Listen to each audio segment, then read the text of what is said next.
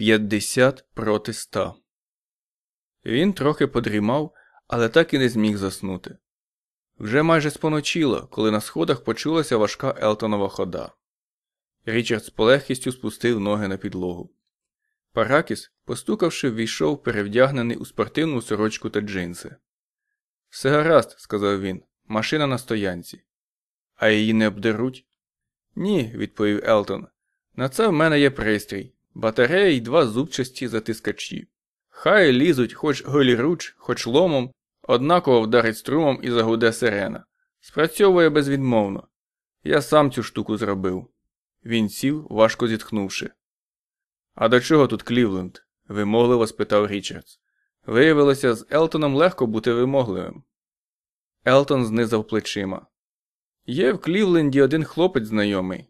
Зійшлися ми в Бостонській бібліотеці, коли я був там із Бредлі. В нас утворився такий собі екологічний гурток. Мамуся вам, мабуть, дещо розповідала. Елтон потер долоні і невесело всміхнувся. Дещо розповідала, підтвердив Річардс. Вона трохи стуманіла, вів далі Паракіс. Не розуміє багато з того, що відбулося за останні років двадцять. Увесь час боїться. Я це все, що вона має. Бредлі впіймають? Не знаю. У нього своя е, агентура. Елтон уникав дивитися Річардсові в очі. Ти. Двері відчинилися, і на порозі стала місіс Паракіс. Вона всміхалася, схрестивши руки на грудях, але очі в неї були сповнені жаху. Я викликала поліцію, промовила вона. Тепер вам доведеться піти. Кров відринула з Елтонового обличчя. Воно стало жовтаво білим, наче пергамент. Ти брешеш, сказав він. Річард схопився на рівні, але не втікав, лише схилив набік голову, наслухаючи. Було чути сирени, спочатку ледь-ледь, але дедалі голосніше. Вона не бреше, сказав Річардс. Його аж занудило від відчуття марноти. Знову все спочатку. Веди мене до машини. Вона бреше, наполягав Елтон. Він підвівся і, майже торкнувшись Річардсової руки, відсмикнув свою, наче боявся обпектися. Це пожежні машини. Веди мене до машини, швидко. Сирени наближалися, завиваючи то голосніше, то тихіше. Цей звук виповнював Річардса таким жахом, який відчуваєш хіба що в кошмарному сні. Він сидить отут із цими двома шизофреніками, а тим часом. Мамо! На перекошеному обличчі Елтона було благання. Я викликала їх. крикнула стара якимось телячим голосом і схопила сина за товсту руку, наче хотіла труснути ним. Я мусила, задля тебе.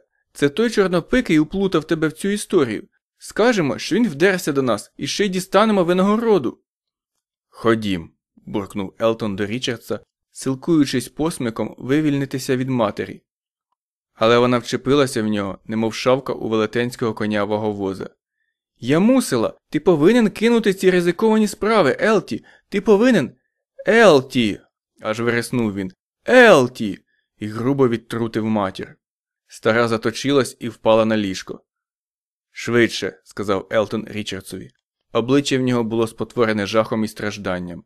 Ой, швидше. Вони загримотіли, перечіплюючись, сходами вниз і за хвилину вискочили на вулицю. Далі Елтон пішов широким нерівним кроком. Він знову почав задихатися. Згори, крізь розчахнуті двері, вихоплювалися пронизливі крики Елтонової матері, які перейшли у вищання, змішались і злилися із завиванням сирен. Я зробила це задля тебе. 49 проти 100 Тіні гналися за ними схилом до парку, то видовжуючись, то вкорочуючись біля кожного стовпа з ліхтарем фірми General Atomics у дротяній сітці. Елтон Паракіс пахкав і сапав, наче паровоз, хапаючи ротом повітря і зі свистом видихаючи його. Вони перетнули вулицю і нараз фари вихопили їх із темряви на тротуарі. Поліційна машина зблиснула синіми вогнями і, завищавши гальмами, спинилася за сотню кроків від утікачів. Річардсе, Бене Річардсе. Голос гримкотів із мегафона. Твоя машина? Он там попереду. Бачиш? видихнув Елтон. Річардс ледве розгледів машину. Елтон добре вибрав місце над озером під березами. Патрульна машина раптом знов ожила, задні колеса шалено закрутилися, з виском чіпляючись гарячими шинами за асфальт і лишаючи на ньому темні смуги. Бензиновий мотор завив, набираючи обертів. Машина перевалилась через бордюр тротуару і на мить, пославши в небо два промені, ринула вниз просто на втікачів. Річардс обернувся, незворушний, майже заціпенілий. Заткуючи, витяг із кишені пістолет Бредлі. Решти переслідувачів не було видно лише цю машину. Вона з ревінням наближалася до них по осінньому оголеним парком, викидаючись під задніх коліс груддя чорної землі. Річард двічі вистрілив у переднє скло. На склі з'явились дві зірчасті цятки, але воно витримало. Річард отскочив у бік і покотився, відчуваючи обличчям суху траву. Підхопившись навколішки, вистрілив іще двічі вслід машині. Вона круто розвернулась, і сині спалахи перетворили ніч на несамовитий танок тіней. Патруль опинився між Річардсом і його машиною, проте Елтон відскочив у другий бік і тепер гарячково силкувався зняти з дверцят свій електричний пристрій. Тим часом поліційна машина знову неслася на Річардса, з правого вікна хтось вистромився. Темрява сповнилась хапливим татаканням. Автомат. Кулі впиналися в траву довкола Річардса, вимальовуючи якийсь безглуздий візерунок. Ударило землею по щоках, сипнуло по лобі. Річардс уклякнув, ніби до молитви, і знову вистрілив. Цього разу куля пробила скло. Машина вже нависла над ним. Річардс відскочив ліворуч, але сталевий бампер зачепив ступню. Хруснула кісточка. Річардс простягся до лілиць. Мотор знову завив, колеса зрили землю на крутому повороті. Сліпуче світло фар ударило по очах, усе довкола стало чорно-білим.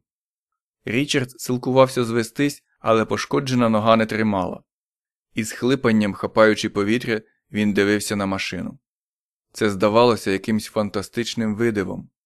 Річардс ніби був в адреналіновій лихоманці, все, що він бачив, відбувалося повільно, неквапливо, мов за наперед написаним сценарієм.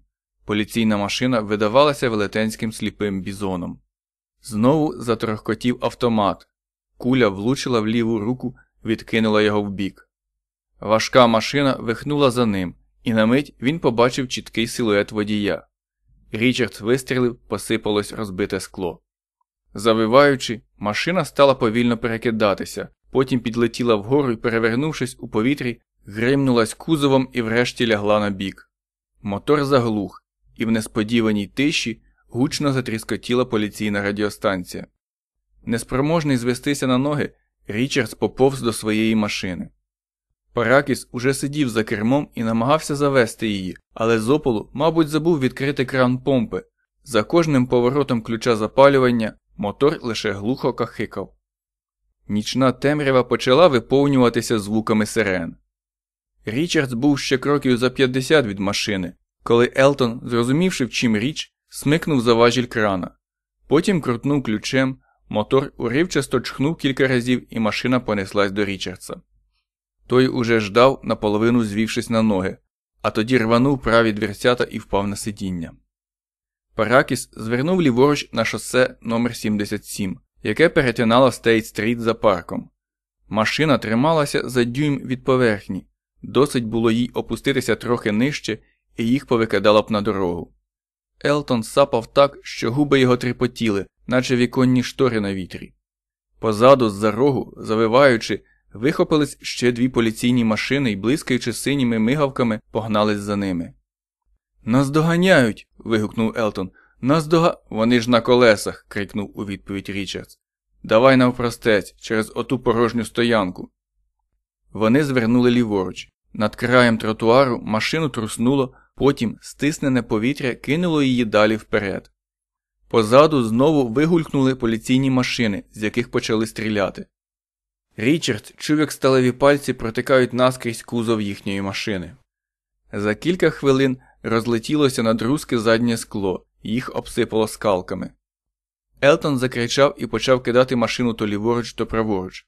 Одна з поліційних машин перескочила через тротуар на швидкості понад 60 миль. Її занесло, і машина, розтинаючи темряву несамовитими синіми блискавками, гримнула набік.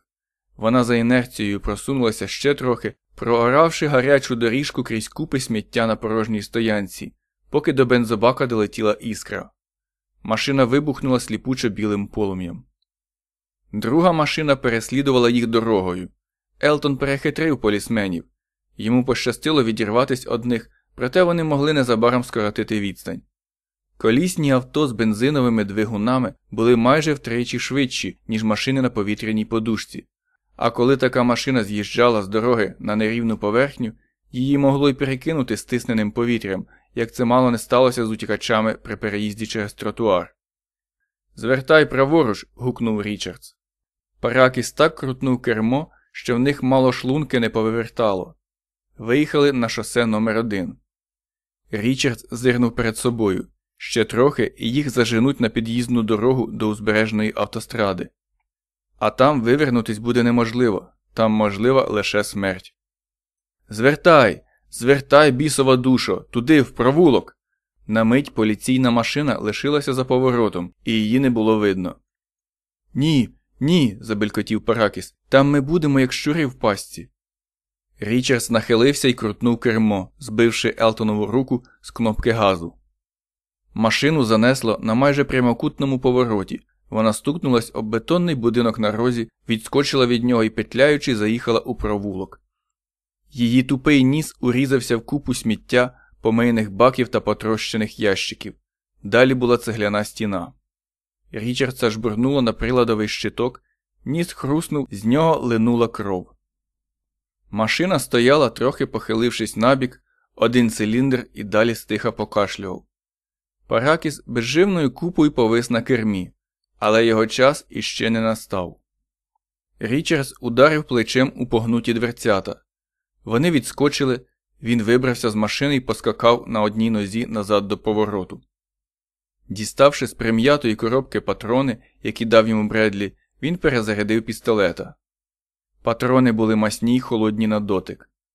Він опустив кілька штук додолу. Руку почало сіпати, мов зіпсований зуб, від болю аж нудило. Фари освітили порожню автостраду і стало видно, мов удень. На повороті патрульну машину занесло, задні колеса шалено крутилися, чіпляючись за поверхню, в повітрі смерділо смаленою гумою. На бічній щебінковій смузі лишилися дві чорні параболи. В ту ж мить машина рванула вперед. Прихилившись лівим боком до будинку, Річард чекав, тримаючи пістолета обіруч. За хвилину вони побачать, що машини попереду немає. Той, що з автоматом помітить провулок і зрозуміє. Шморгаючи носом, з якого лилася кров, Річард почав стріляти. Стріляв майже впритул, і на такій відстані кулі проходили крізь броньоване скло, мов крізь папір. За кожним пострілом Річард скрейкував від болю в пораненій руці.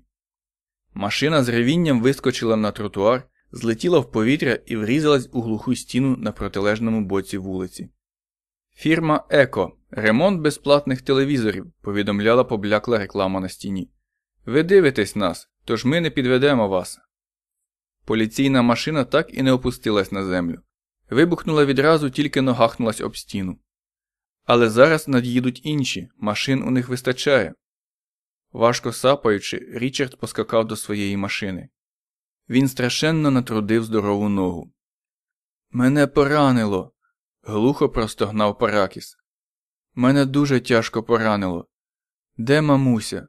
Де моя мамуся? Річардс упав на коліна, тоді перевернувся горілиць. Звиваючись, підповз на спині під машину і заходився гарячково очищати від сміття повітряні камери. З перебитого носа щоками струмувала кров, утворюючи під вухами калюжі. 48 проти 100. Тепер працюватимуть 5 із 6 циліндрів. Швидкість не перевищуватиме 40 миль на годину, і машину хилитиме на один бік, наче п'яну. Річард перетяг Паракіса на праве сидіння. Той мав показувати дорогу. Кермова колонка вігналась йому в живіт, і Річард думав, що Паракіс помирає. Ще тепла кров на кермі липла до річарцових долонь. Мені дуже шкода, промовив Паракіс. Тут праворуч. Я сам винен. Я мав би це передбачити. Вона. вона неспроможна тверезо мислити. Вона не. Паракіс кашлянув і байдужно виплюнув собі на коліна згусток крові. Ніч виповнилася завиванням сирен, але воно долинало здалеку, десь із заходу.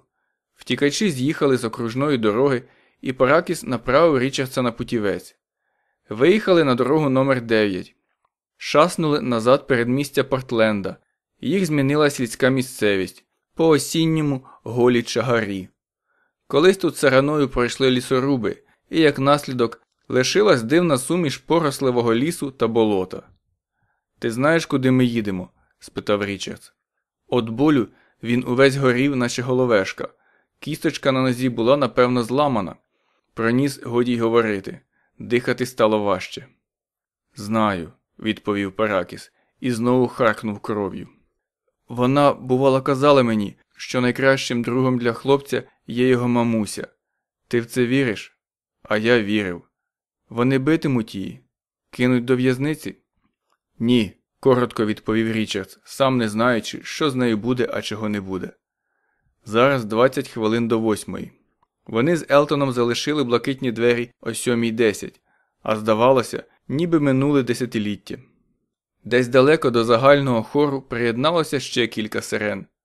Ненависні переслідують неїстівних, зненацька майнула Річардсові. Якщо не витримуєш жару, забирайся з кухні. Він сам упорався з двома поліційними машинами, додаткова премія для Шіли, гроші за пролиту кров. А Кеті, чи не погіршує доньці, чи не помре вона від молока, купленого на гроші, зароблені вбивством отих хижаків? Вітаю вас, кохані мої. Я люблю вас. Тут, на цій звивистій, урвистій дорозі, яка годиться хіба що для мисливців та для парочок, що шукають затишного місця, я кажу, що люблю вас і бажаю вам солодких снів. Я бажаю ліворуч, пробурмотів Елтон. Річард крутнув кермо, і вони вискочили на гладеньке, гудроноване шосе, що стрілою простяглося поміж голих сумахів та берестів, сосен, ялин і диких чагарникових заростей. У ніс ударив сірчастий дух забрудненої промисловими відходами річки. Поминули вивіску, соснова алея, будівельні роботи, не підходити, за порушення, карна відповідальність. Подолавши ще один підйом, вони побачили те, що називалося сосновою алеєю. Роботи тут припинили принаймні років зо два тому, подумав Річардс, та й небагато встигли зробити. Лабіринти напівзведених складів і майстерень, жалюгідних халуп та збірних будиночків із гофрованого заліза були захаращені обрізками труб, купами шлакобетону та дощок, і все це поросло кущами ялівцю та лавра, волосовидним просом та колючою ялиною, дикою смородиною, тереном, нечуй вітром. Ці нетрі тяглися милями. Довгасті ями під фундаменти зяяли, наче могили, викопані для римських богів. Подекуди видніли сталеві рами. З напівзведених бетонних стін стирчала арматура, що нагадувала незбагненні криптограми. Розрівняні бульдозерами прямокутники під автостоянки позаростали травою. Над машиною безгучно прилетіла сова, вибралась на полювання. Допоможи мені сісти за кермо, сказав Паракіс. Ти не зможеш вести машину, заперечив Річард сильним поштовхом відчиняючи дверцята. Це єдине, що я можу зробити, мовив Елтон Паракіс із похмурою впертістю. Я зіграю роль зайця, кермуватиму, поки стане сили. Ні, сказав Річард. Облиш мене. крикнув Паракіс, і його пухкеньке дитяче обличчя кумедно перекосилося. Я помираю. Краще дай мені спок. На нього знову напав страхітливий безгучний кашель, і він вихаркнув згустки крові. В машині тхнуло, наче в різниці. Допоможи, прошепотів Паракіс. Я сам не пересяду, надто гладкий. О Боже, та допоможи ж, прошу тебе. Річардс взявся до діла. Він підпихав і тяг, і руки його ковзали й чвакали в Елтоновій крові. Сидіння перетворилося на справжню калюжу, а Елтон стікав і стікав кров'ю. Хто б міг подумати, що її в людині так багато? Врешті Річардс упхав Елтона за кермо, машина почала розвертатись і, хитаючись, підніматися на повітряній подушці. Блимнувши гальмовими ліхтариками, наткнувшись на кілька дерев, Елтон викермував на дорогу. Річардс чекав гуркоту, аварії, але ні того, ні того не було. Нерівномірне чахкання повітряних циліндрів віддалялося, відбиваючи передсмертний ритм, який щоразу уривався на пошкодженому циліндрі. Це означало, що через якусь годину і решта вийдуть з ладу. Нарешті шум поступово втих. Лише далеке гудіння літака порушувало тишу. Аж тепер Річард згадав, що залишив свої маскувальні милиці на сидінні позад Елтона. Високо в небі, байдужі до всього, пливли сузір'я. За кожним віддихом з Річардсових вуст вихоплювалися клубочки пари. Цієї ночі похолоднішало. Він ізсунувся з дороги і покульгав у нетрі будівельних майданчиків. 47 проти 100 На дні котлована, що мав стати підвалом, Річардс помітив купу ізоляційної тканини і побрався вниз, хапаючись руками за пруття арматури, що стирчало із стіни. Знайшовши якогось дрючка, він уперіщив ним по ізоляції, щоб вигнати пацюків. Винагородою була густа хмара пилу впереміж із волокнами тканини. Він чхнув і скрикнув від раптового болю в переламаному носі. Ніяких пацюків, усі пацюки в місті. Річард вибухнув різким сміхом, що скалками розлетівся на всю велику темну яму. Річард загорнувся в дрантя ізоляційної тканини і став схожий на ескімоське іглу, зате було тепло. Він прихилився спиною до стіни і поринув у напівдрімоту. А коли прокинувся, пізній місяць підіймався холодною скипкою над східним крайнебом. І досі нікого не було. Сирен не чути. Тепер десь година третя. Руку сіпало, але кровотеча припинилася сама собою. Річард помітив це, коли, витягши руку з під ізоляції, легенько зняв кілька ниток із струпа. Автоматна куля, мабуть, вирвала добрячий шмат м'яза над ліктем. Добре, що не розтрощила кістку, а от ступню сіпав невгаваючий глибокий біль. У цьому місці Річард відчував дивну невагомість, ніби ступня була відірвана. Він подумав, що туди слід було б накласти шину, а подумавши, знову задрімав. Коли він прокинувся, в голові трохи проясніло. Місяць підбився вгору, але не було жодної ознаки світанку, ні справжньої, ні фальшивої. Він про щось забув. Ця думка штовхнула його назад до дійсності. До полудня йому треба відіслати дві касети, якщо хоче, щоб вони опинились у будинку розважальних телепрограм до початку передачі о 6.30. Треба діяти, інакше пропали гроші. Але ж Бредлі десь переховується, а може, його вже й піймали. А Елтон Паракіс так і не назвав йому того хлопця, що в Клівленді. Ще й кісточка перебита. Нараз Річардс аж підскочив. Щось велике продиралось крізь хащі праворуч. Олень. Хіба вони ще є тут, на сході? Тканина спала з нього, та Річард, відчувши себе нещасним, одразу знову згорнувся в неї, шморгаючи перебитим носом. Він, городянин, сидить отут, у цьому покинутому будівельниками, занедбаному, богом забутому котловані. Ніч раптом ніби ожила, стала зловорожою, страхітливою, виповнилась стукотом та репінням, від якого можна було збожеволіти. Дихаючи ротом, Річардс подумки перебирав усі варіанти та можливі наслідки. Перше не робити нічого, просто сидіти, поки все якось утихне. Але наслідок гроші, що йдуть на його рахунок по сотні доларів за годину, конфіскують сьогодні ж о шостій вечора. Він тікатиме далі, але вже задарма, і ловів не припинять, навіть якби йому пощастило протриматись усі 30 днів. Лови триватимуть, аж поки його понесуть уперед ногами. Друге. Надіслати касети до Бостона. Ні Бредлі, ні його рідним це вже не зашкодить, бо їх викрито.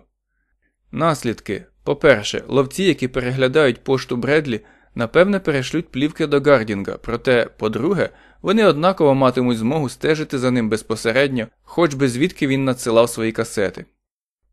Третє. Надіслати плівки безпосередньо до Гардінга, до будинку розважальних телепрограм.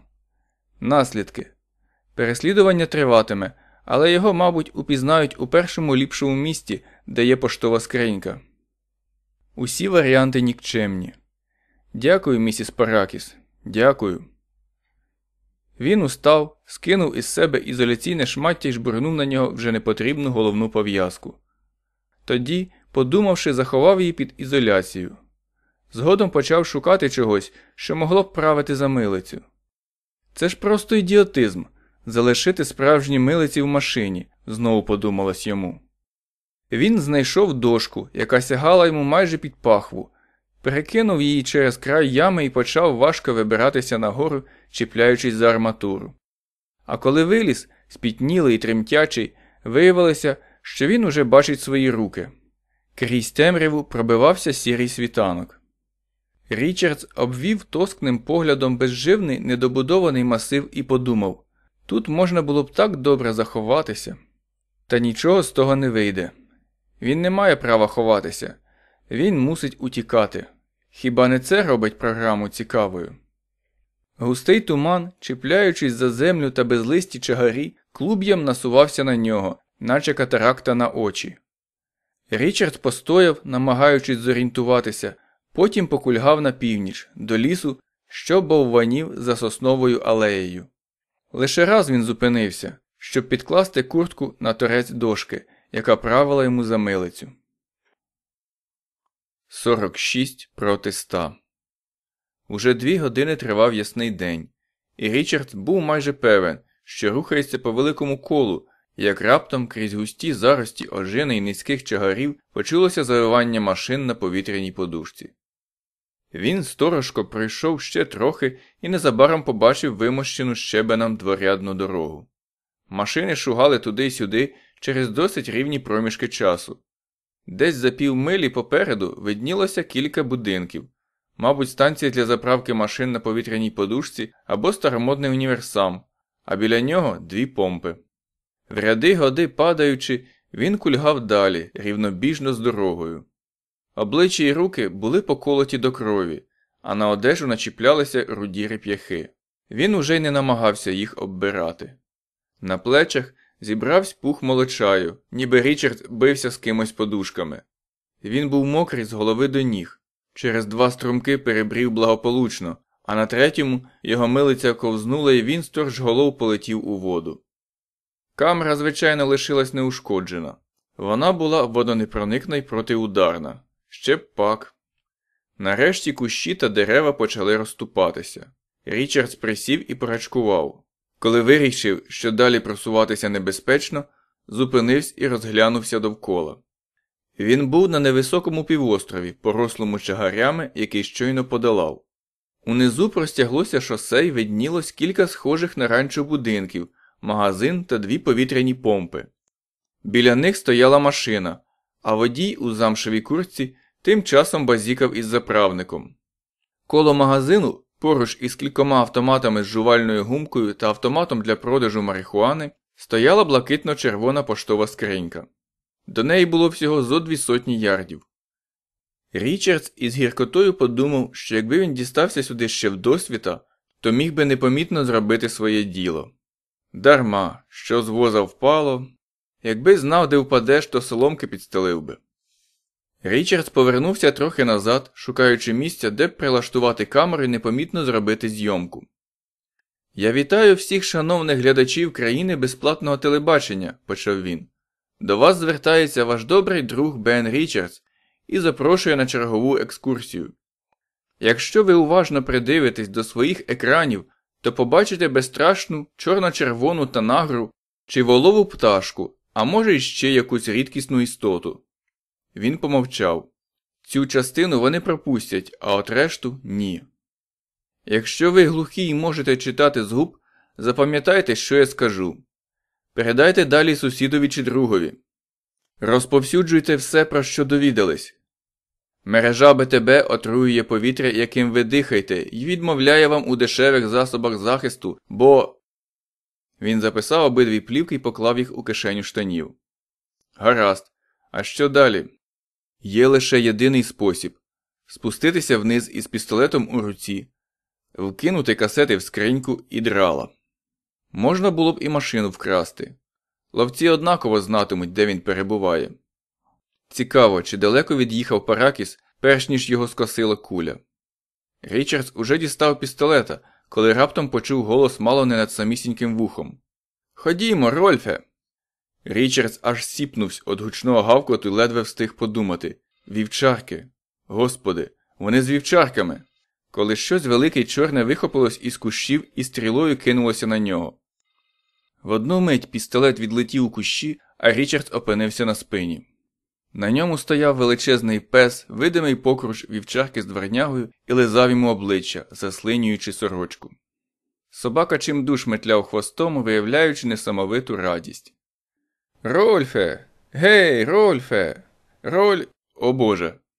Крізь гущавину замиготіли ноги у блакитних джинсах, і за хвилину малий хлопчина відтяг свого пса. Ой, вибачте, містере, він не кусається, він надто дурний, щоб кусати. Він пустує, він не. Боже, ну й вигляд у вас. Ви заблукали? Тримаючи Рольфа за нашийника, малий із щирою цікавістю розглядав Річардса. Гарний хлопчина, добре збитий.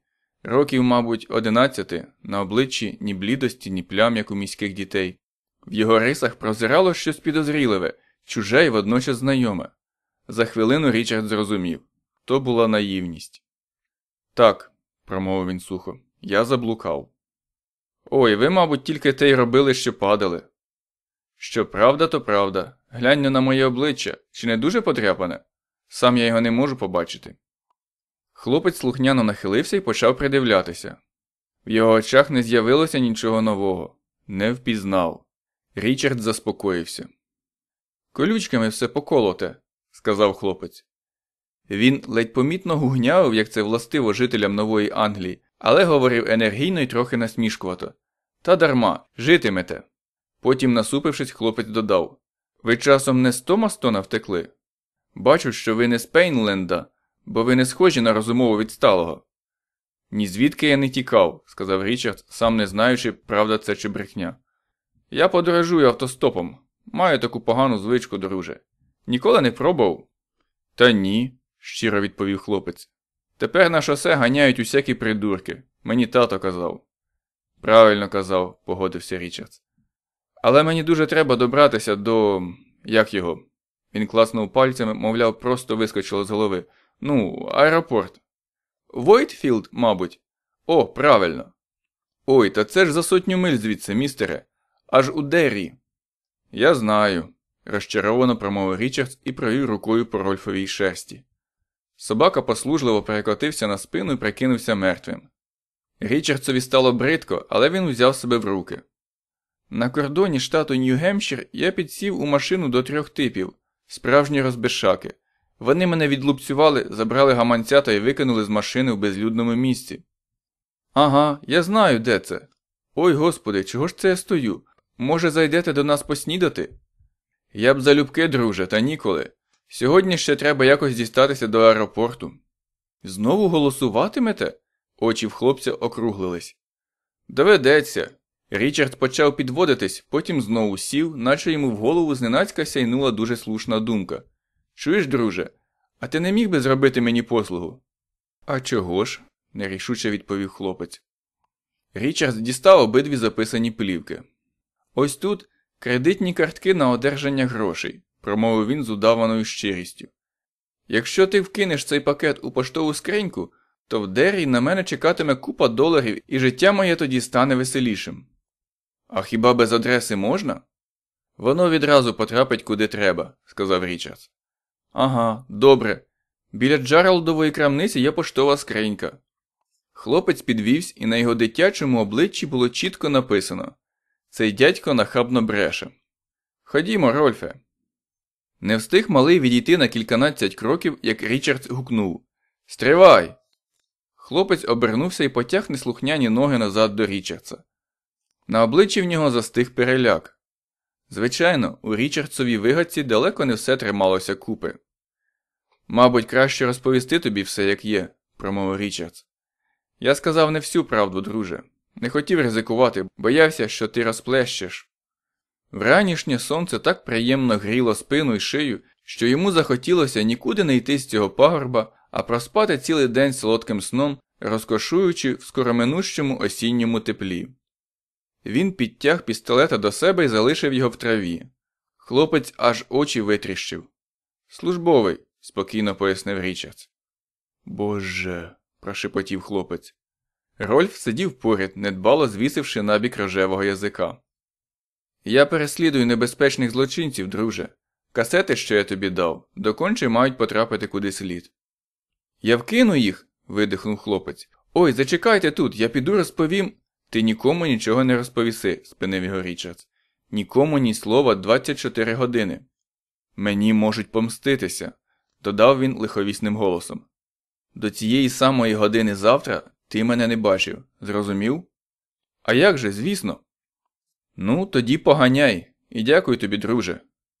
Він простяг руку, і хлопець з побожним тремом потис її.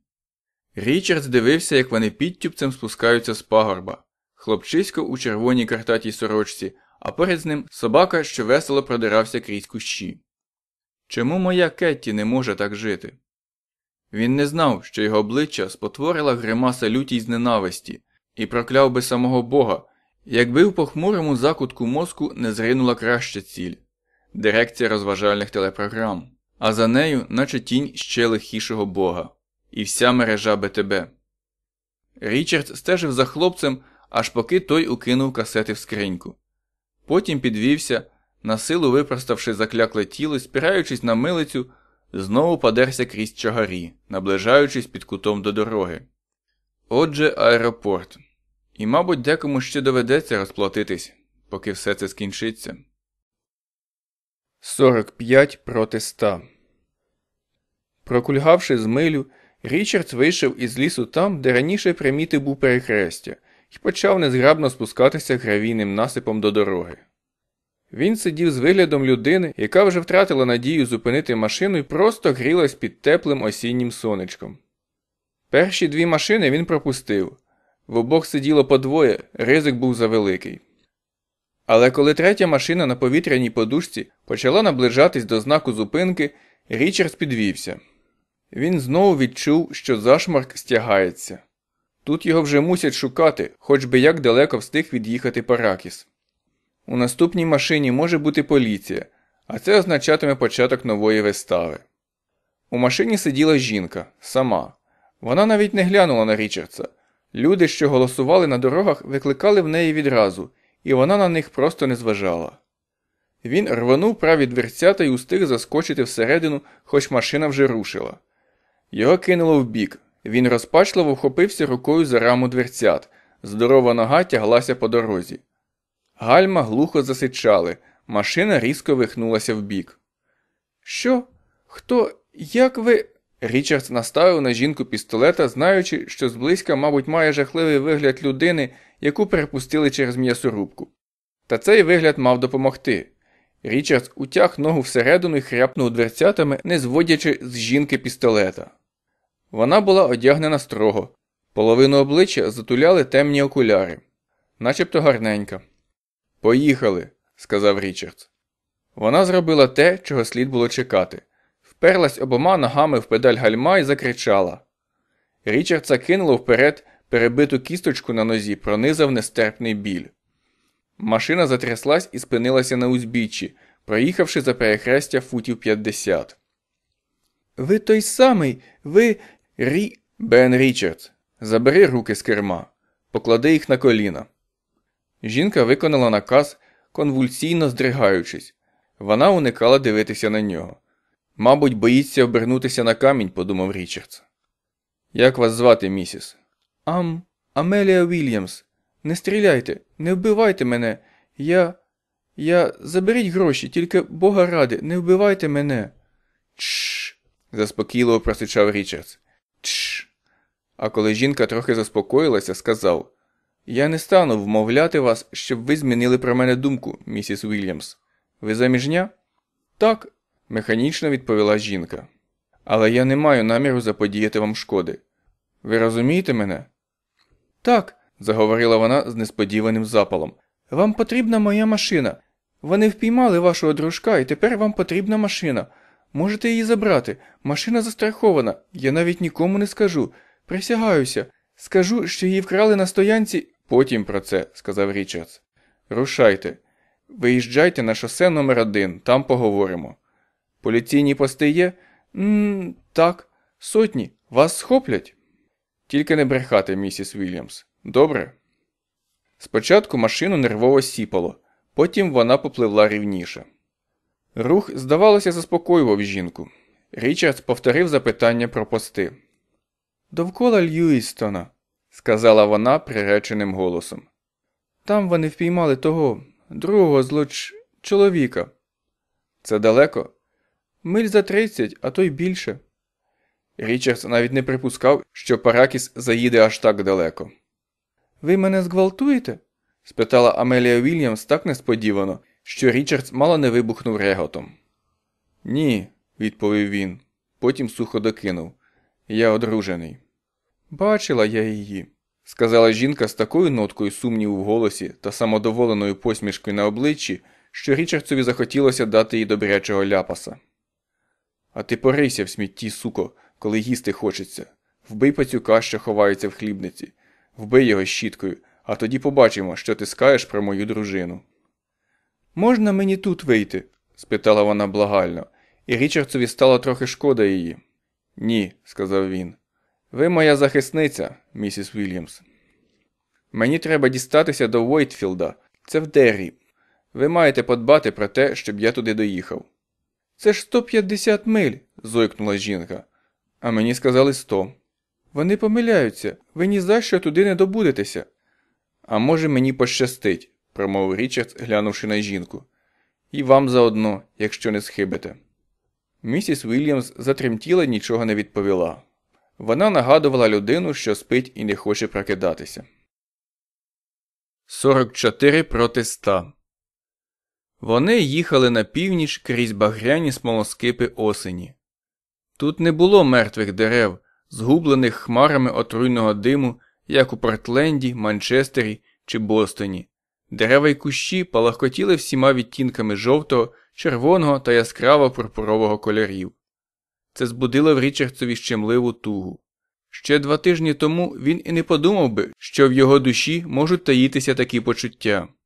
За якийсь місяць випаде сніг і поховає всю оцю красу. Осінь усьому кінець. Жінка, здавалося, відчула його настрій і мовчала. Рух заповнював мовчанку, вколисував. Перетнули річку під ярмутом. А далі не було нічого, тільки ліс та трейлери та жалюгідні халупи, біля яких тулилися нужники. Зате не було місця, куди б не підвели кабелів безплатного телебачення. Їхні виходи, прикручені під прогнутим облізлим підвіконням чи поряд із зірваними з завісів дверима, переморгувалися на сонці, наче геліографи. І так до самого Фріпорта. При самому в'їзді в місто стояли три патрульні машини, біля них товклись полісмени, наче зібралися на якусь придорожню конференцію. Жінка заклякла, обличчя їй страшенно зблідло, проте Річард залишався спокійним. Коли без пригод проминули полісменів, вона безвладно обвисла. Якби вони щось шукали, то миттю накинулися б на нас, знічев'я сказав Річардс. Або якби у вас на лобі було яскравою фарбою написано Бен Річардс у цій машині. Чому ви не хочете мене відпустити? вибухнула жінка і, не переводячи духу, докинула. У вас сигарети з марихуаною немає? Хто гроші має, той довкси вживає. Від цієї думки у горлі в нього забулькотів іронічний сміх. Річардс похитав головою. Ви що, смієтеся з мене? вражено спитала вона. Ви таки боягузливий ниций убивця. Налякали мене мало не до смерті, мабуть, хотіли вбити, як повбивали тих бідолашних хлопців у Бостоні. Їх там був цілий гурт, тих бідолашних хлопців, промовив Річардс, і кожен готовий убити мене. Така їх робота. Ви вбиваєте за гроші, на все ладні задля грошей. Хочете перевернути країну. Чому ви не знайдете собі пристойної роботи? Понадто ледачий, вам начхати на все, що є порядного в світі. А ви самі порядна? спитав Річардс. Порядна. скипіла жінка. Хіба не через те ви обрали мене? Не через те, що я беззахисна й порядна, не через те, що вам легко скористатися з цього, принизити мене до свого рівня, а тоді ще й позбиткуватись. Якщо ви така порядна, то як же воно виходить, що ви кидаєте 6 тисяч нових доларів на цю розкішну машину, тим часом як моя донька вмирає від грипу? Що? Амелія була вражена. Її роззявлений от подиву рот стулився так, що аж зуби клацнули. Ви ворог мережі, сказала вона. Про це повідомило телебачення. Я бачила деякі з ваших подвігів. Це обурливо. А ви знаєте, що таке обурливо? Спитав Річард, взявши сигарету з пачки на приладовому щитку. Я вам скажу. Обурливо, коли тебе заносять до чорного списку, бо ти не хочеш працювати на General Atomics і стати безплідним. Обурливо не мати роботи і сидіти вдома, дивлячись, як твоя дружина заробляє собою на харчі. Обурливо, коли мережа, отруюючи повітря, щороку вбиває мільйони людей замість того, щоб виробляти носові фільтри і продавати їх по 6 доларів за штуку. Ви брешете, сказала жінка. Вона так вчепилася в кермо, що ж суглоби на пальцях побіліли. Коли це все скінчиться, промовив Річардс, ви повернетесь до своєї розкішної двоповерхової квартири, закурите доукса, а як добре умлієте, то із задоволенням дивитиметесь на своє новеньке срібло, що виблискує в серванті. У вашому районі ніхто не воює з щітками з пацюччям, ніхто не вибігає задніми дверима на двір, щоб справити потребу, бо туалети у ваших квартирах завжди працюють. А я бачив п'ятирічну дівчинку, в котрої рак легенів. Як вам це не обурливо? Годі. верескнула жінка. Вас гидко слухати. Ваша правда, промовив Річард, задивившись на краєвид, що пропливав мимо. Розпач, наче холодна вода, виповнив його. З цими вродливими обранцями долі спільної мови не знайдеш. Там, де вони живуть, повітря чистіше.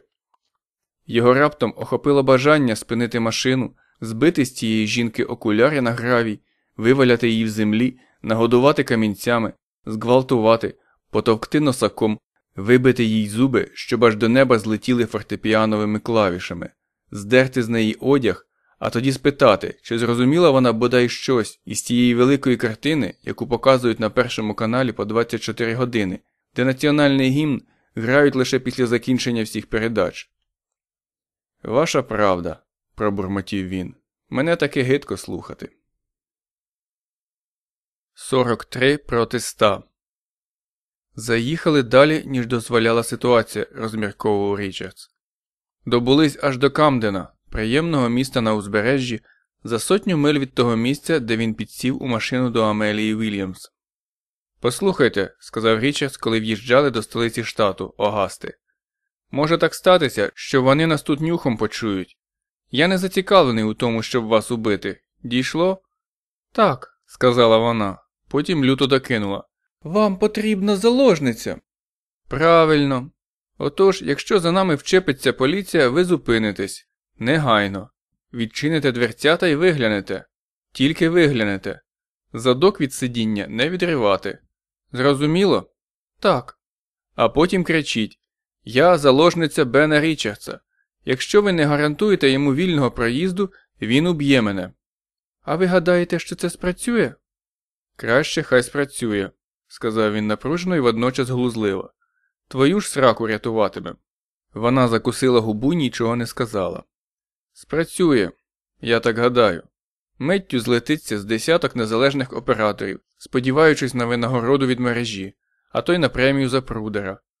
З такою рекламою їм доведеться вести чесну гру. Шкодую, що вам не пощастить улаштувати нашу втечу під градом куль, аби потім оті святенники могли назвати вас останньою жертвою Бена Річардса. Навіщо ви все це говорите? вибухнула вона. Річардс не відповів, лише зсунувся нижче, так що над приладовим щитком стирчала тільки його голова, і став чекати появи синіх мигавок у дзеркалі заднього огляду. Одначе сині мигавки в огасті не з'явились. Подорожні проїхали ще з півтори години, огинаючи затоку. Сонце вже хилилося на захід, і його відблиски на гребенях хвиль миготіли то за полями, то за мостами, то крізь густі ялини. Минуло дві години, коли вони побачили за поворотом поліційний пост, дві машини обабіч дороги. Двоє полісменів саме закінчили оглядати старенький пікап якогось фермера і махнули йому, що можна рушати.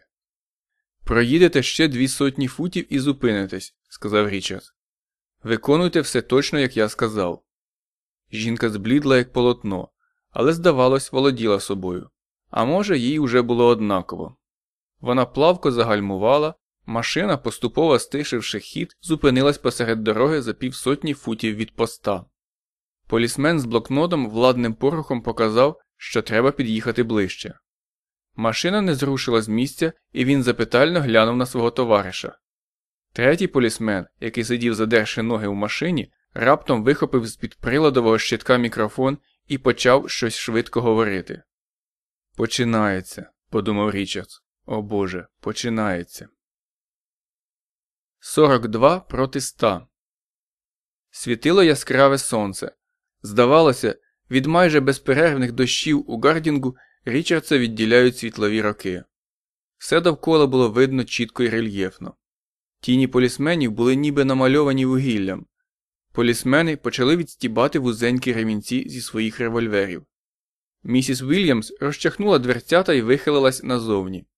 Не стріляйте, будь ласка, промовила вона, і Річардс аж тепер помітив, який звучний і добре поставлений у неї голос. Можна було подумати, що вона сидить у вітальні власного дому, коли б не побілілі суглоби пальців та жилка на шиї, що тріпотіла, мов налякана пташина. Крізь розчинені дверцята до Річардса долинав свіжий підбадьорливий запах сосни й житниці. Вийдіть із машини і закладіть руки за голову. гукнув полісмен з блокнотом. Він говорив, немов чітко запрограмована машина. Фірма General Atomics, модель 6925 А9, подумав Річардс. Назва виробу полісмен, виготовлений у Гіксвілі. Ціна включає вартість іридієвих елементів, тільки в білому виконанні. Виходьте разом із пасажиром, місіс. Ми бачимо його. Мене звуть Амелія Вільямс, чітко промовила жінка. Я не можу виконати вашого наказу і вийти з машини. Я заложниця Бена Річардса. Якщо ви не гарантуєте йому вільного проїзду, він уб'є мене.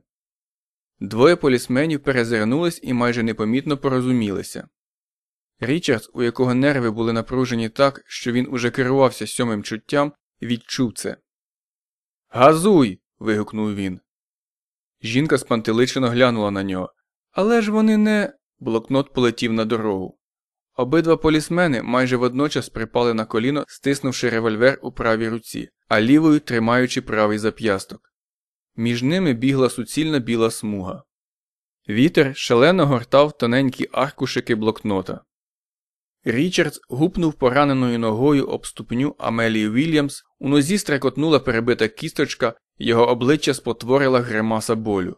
Машина рвонулася вперед. Замить почулися два глухі удари. Машина задрижала. Наступної миті розлетілося на друзки лобове скло, обсипавши їх скалками. Жінка скинула руками, затуляючи обличчя. Річард метнувся вбік, грубо притиснувши її, і перехопив кермо. Вони проскочили між обома машинами, навіть не вихнувши. Річард скинув нестябний погляд на патрульних. Крутнувшись на місці, ті готові були знову стріляти, і відразу ж зосередився на дорозі. Вони саме піднялися на перевал, коли ще одна куля з глухим стуком пробила багажник. Машина завихляла задком. Річард ривками покручував кермо, намагаючись утримати її в покорі. Наче крізь туман він почув крик жінки. Кермуй. гримнув він на неї. Кермуй, бісова душо. Кермуй, кермуй. Амелія Уільямс рефлективним рухом намацала кермо. Річард відпустив його і помахом долоні збив з жінки окуляри. Вони на мить зависли на одному вусі й упали. Зупини. Вони стріляли в нас. Амелія підвищила голос. Вони стріляли в нас. Вони стріляли. Зупини. Позаду почулося наростаюче завивання сирен. Амелія загальмувала невдало, машиною труснуло і розвернуло назад, з під неї полетів гравій. Я все їм сказала, а вони хотіли вбити нас, промовила Амелія здивовано. Хотіли нас убити. Та Річардс уже нічого не чув. Тримаючи пістолета в руці, Він незграбно вистрибував по дорозі на одній нозі. Нарешті, втративши рівновагу, важко впав, позбивавши коліна. Коли перша патрульна машина з'явилася на перевалі, він уже сидів на узбіччі, міцно тримаючи пістолета на рівні плеча. Машина легко йшла на швидкості 80 миль на годину, ще й набирала ходу. Якомусь новачкові з провінції попався надто потужний мотор і дуже кортіло слави. Може, полісмени й побачили Річардса, може, й намагалися зупинитись, та це вже не мало значення. На цих машинах не було куленепробивних шин.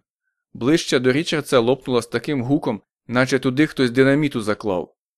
Машина знялася в повітря велетенським птахом і, з виттям, перелетівши через узбіччя, врізалась у стовбур могутнього береста. Від удару ліві дверцята відскочили геть. Водія, наче торпеду, викинуло крізь лобове скло, і він, пролетівши ярдів 30, з тріском гепнув у зарості вощанки. Друга машина неслася майже з такою самою швидкістю, тож Річардсові довелося вистрілити чотири рази, перш ніж він поцілив у шину. Поруч з ним пирснули піском дві кулі.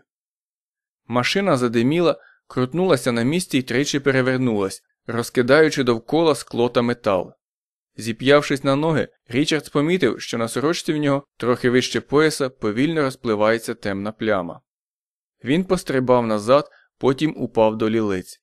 Вибухнула друга патрульна машина, і над ним, наче шрапнель, пролетіли уламки.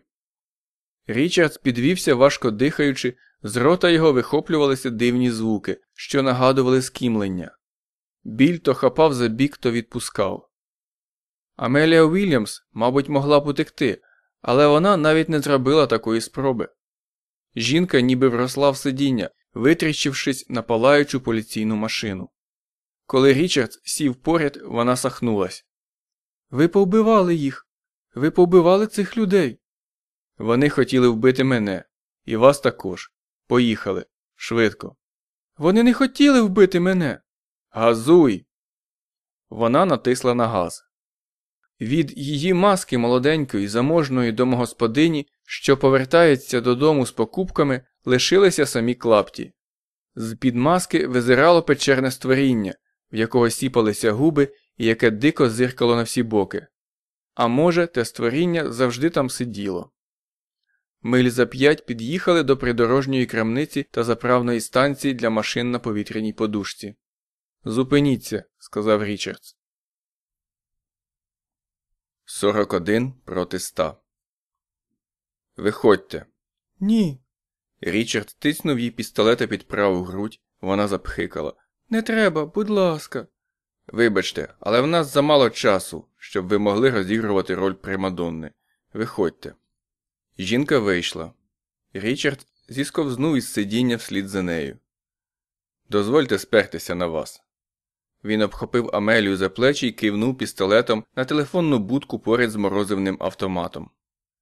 Вони почовгали до будки, наче кумедна водивільна пара. Річард скакав на одній нозі. Він страшенно стомився. Перед його очима знову розбивалися машини, летіло торпедою чиєсь тіло, вибух розкидав уламки, і все повторювалось, мов на плівці. Власник крамниці, підтоптаний добрій з білим волоссям і прикритими фартухом кощавими ногами, вийшов і стривожено витріщився на них. Гей. гукнув він несміливо. Чого вам тут треба? В мене сім'я. Ідіть собі далі, будь ласка, я не хочу неприємностей. Зайди до хати, старий, сказав Річардс. Чоловік пішов. Річардс упхався в будку, важко сапаючи, вкинув 50 центів до автомата. Тримаючи пістолета і трубку в одній руці, набрав нуль.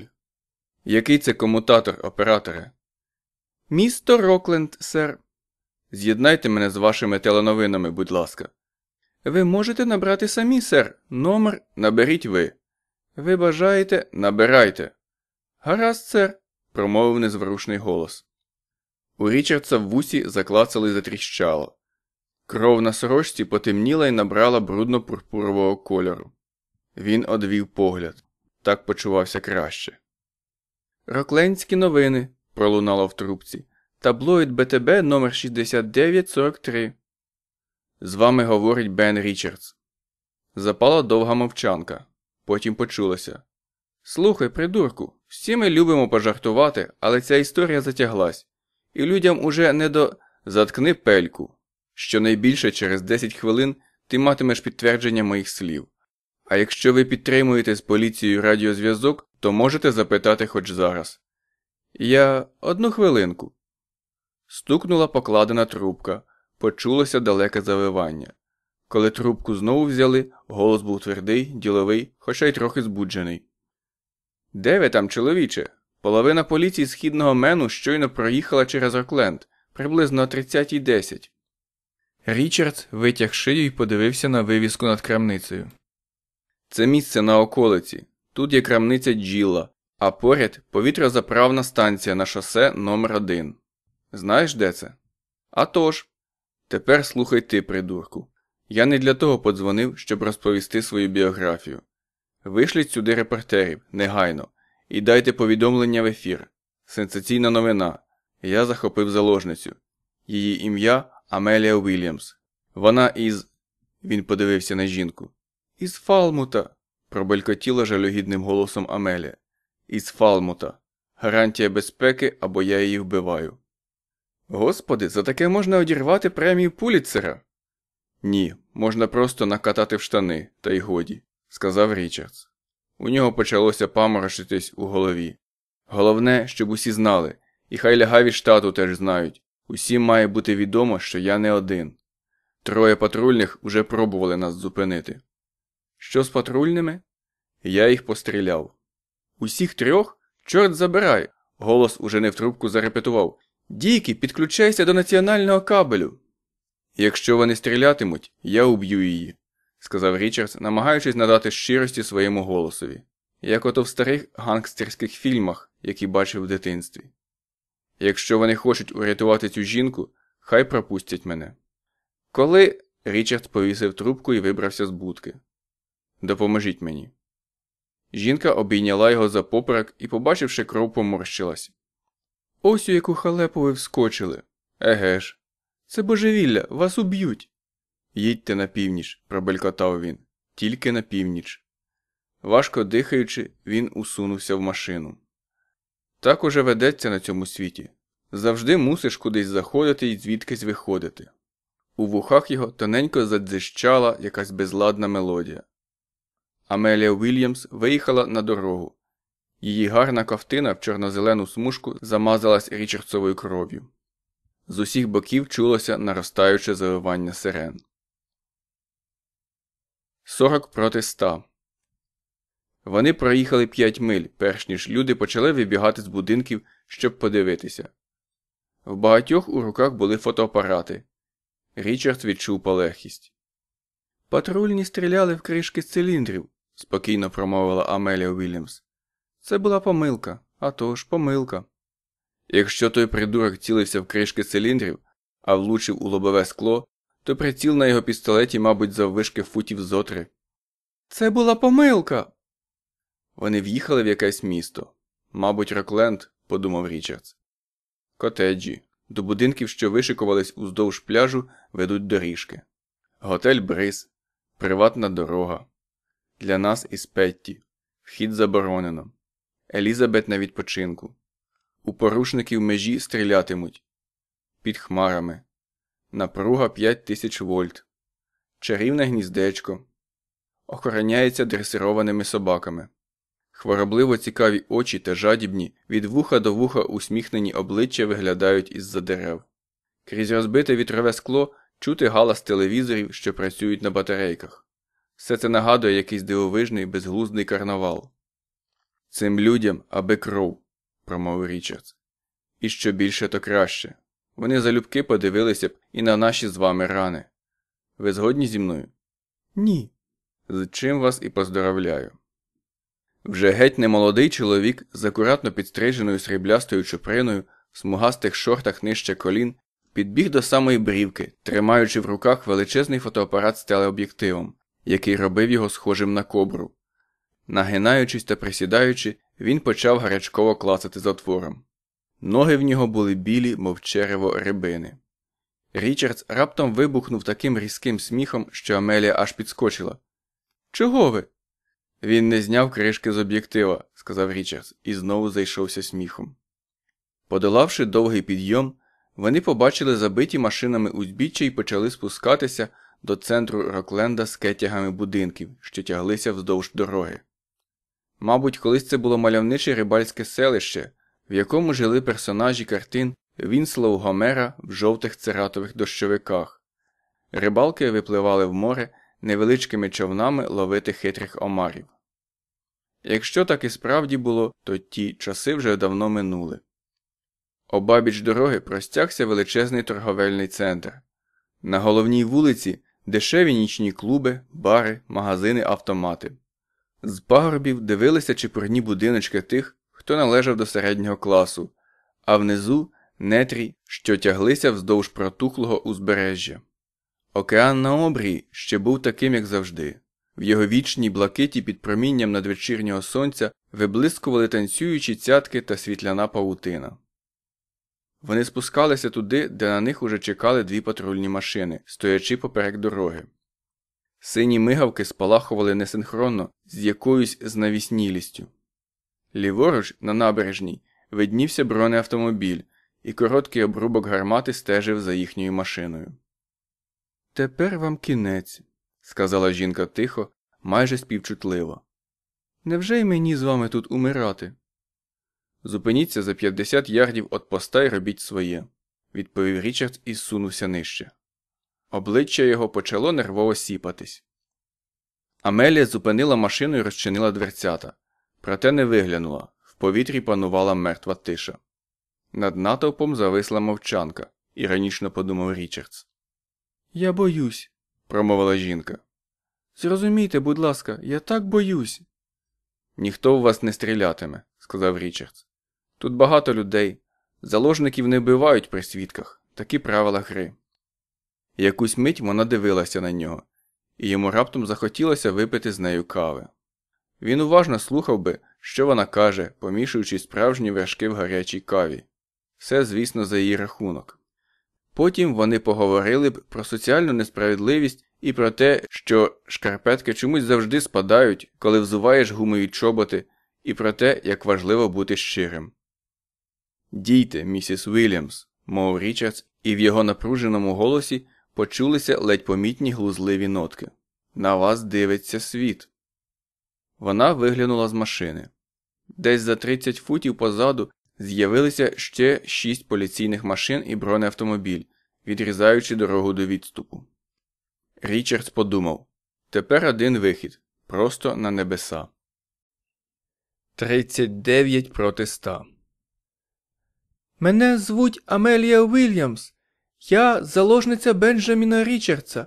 Якщо ви не гарантуєте нам безпеку, він каже, що вб'є мене. На мить стало так тихо, що Річардс почув далекий гудок невидимої яхти. Потім різкий металевий голос загремотів через підсилювач. Ми хочемо говорити з Беном Річардсом. Ні, швидко сказав Річардс. Він каже, що не хоче говорити. Вийдіть із машини, місіс. Він уб'є мене. дико скрикнула жінка. Хіба ви не чули? Нас уже й так мало не вбили там. Він каже, що вам однаково кого вбивати. Господи, невже це правда? Хрипкий голос із натовпу зарепетував Пропустіть її. Виходьте з машини, а то стрілятимем.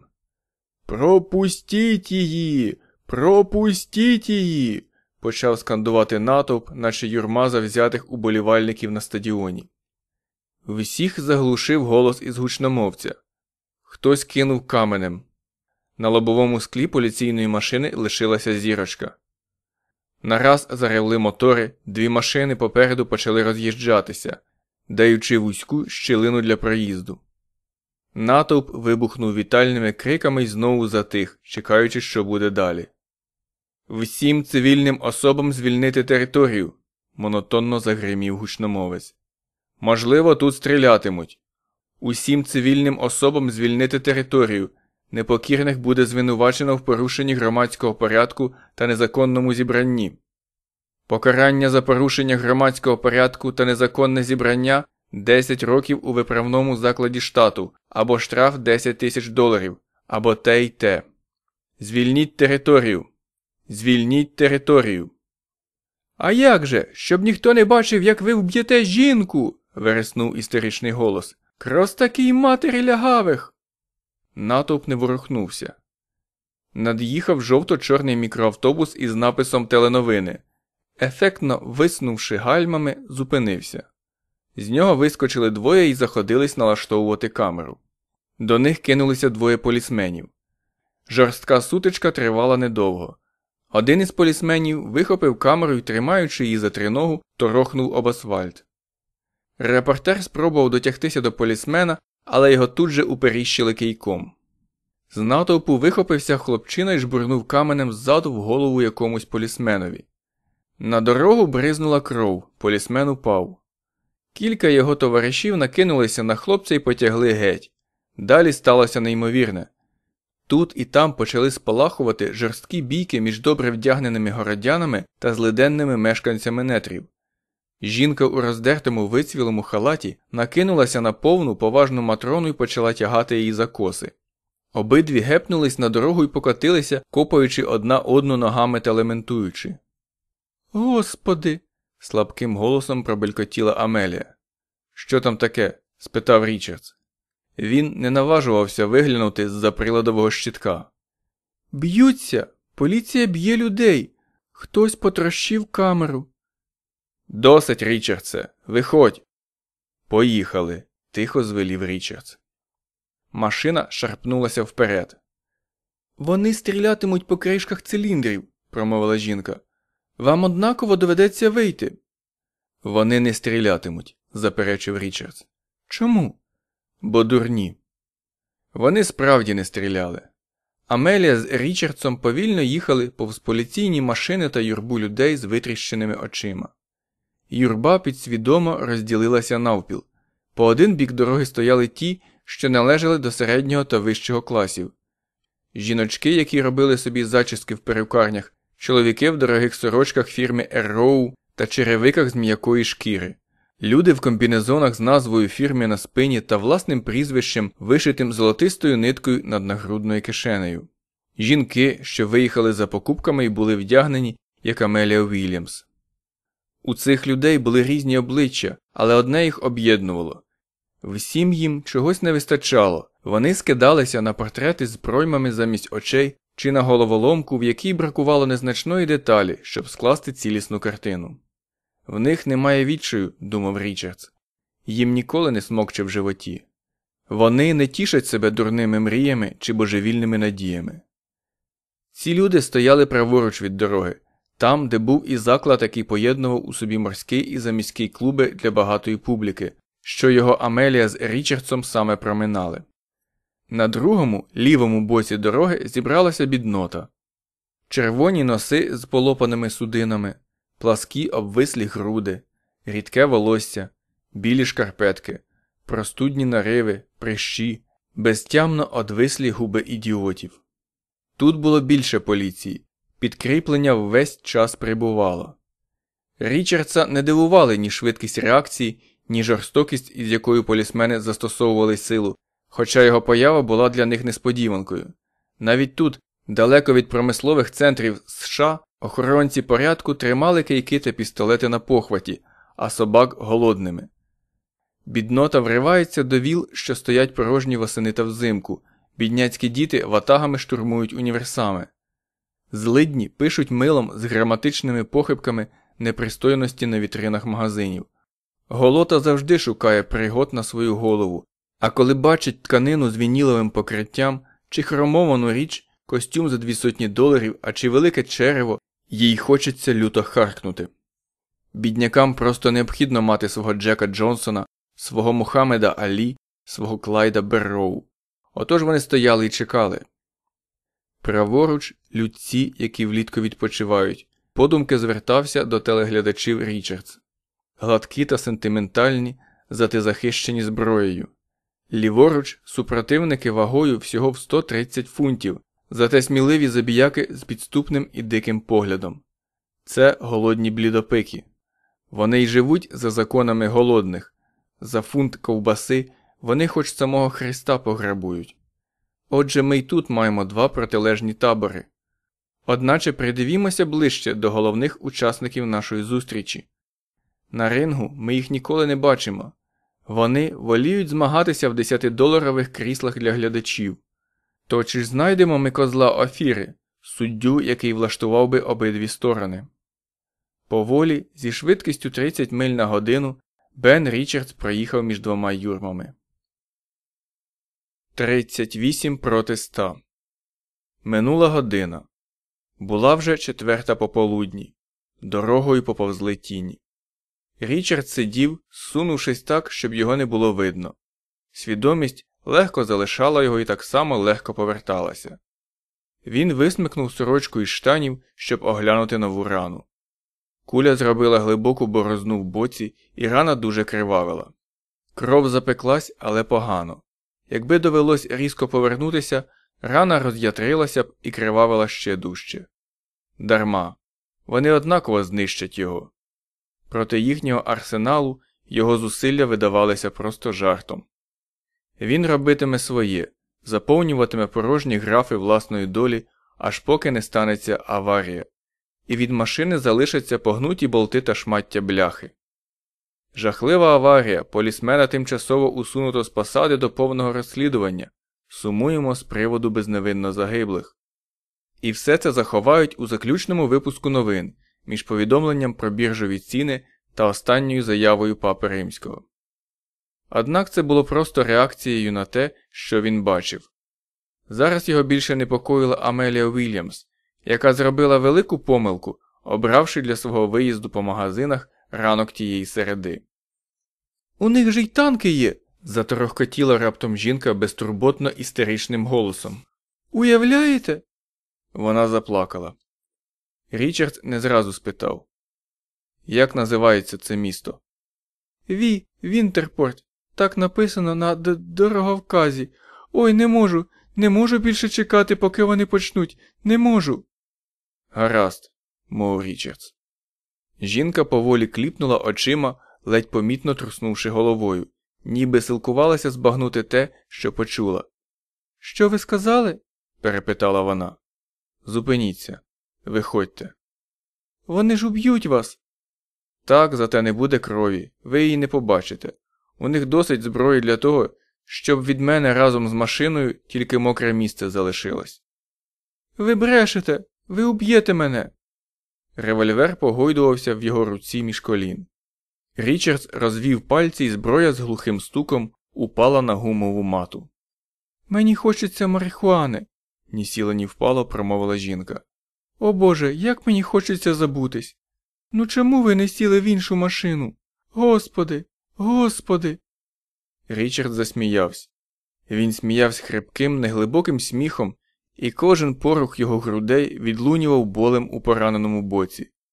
Він заплющив очі і сміявся, поки з під повік у нього виступили сльози. В машині холодно, скло ж розбите, раптом сказала Амелія. Вімкніть обігрівач. Її обличчя біліло невиразною плямою.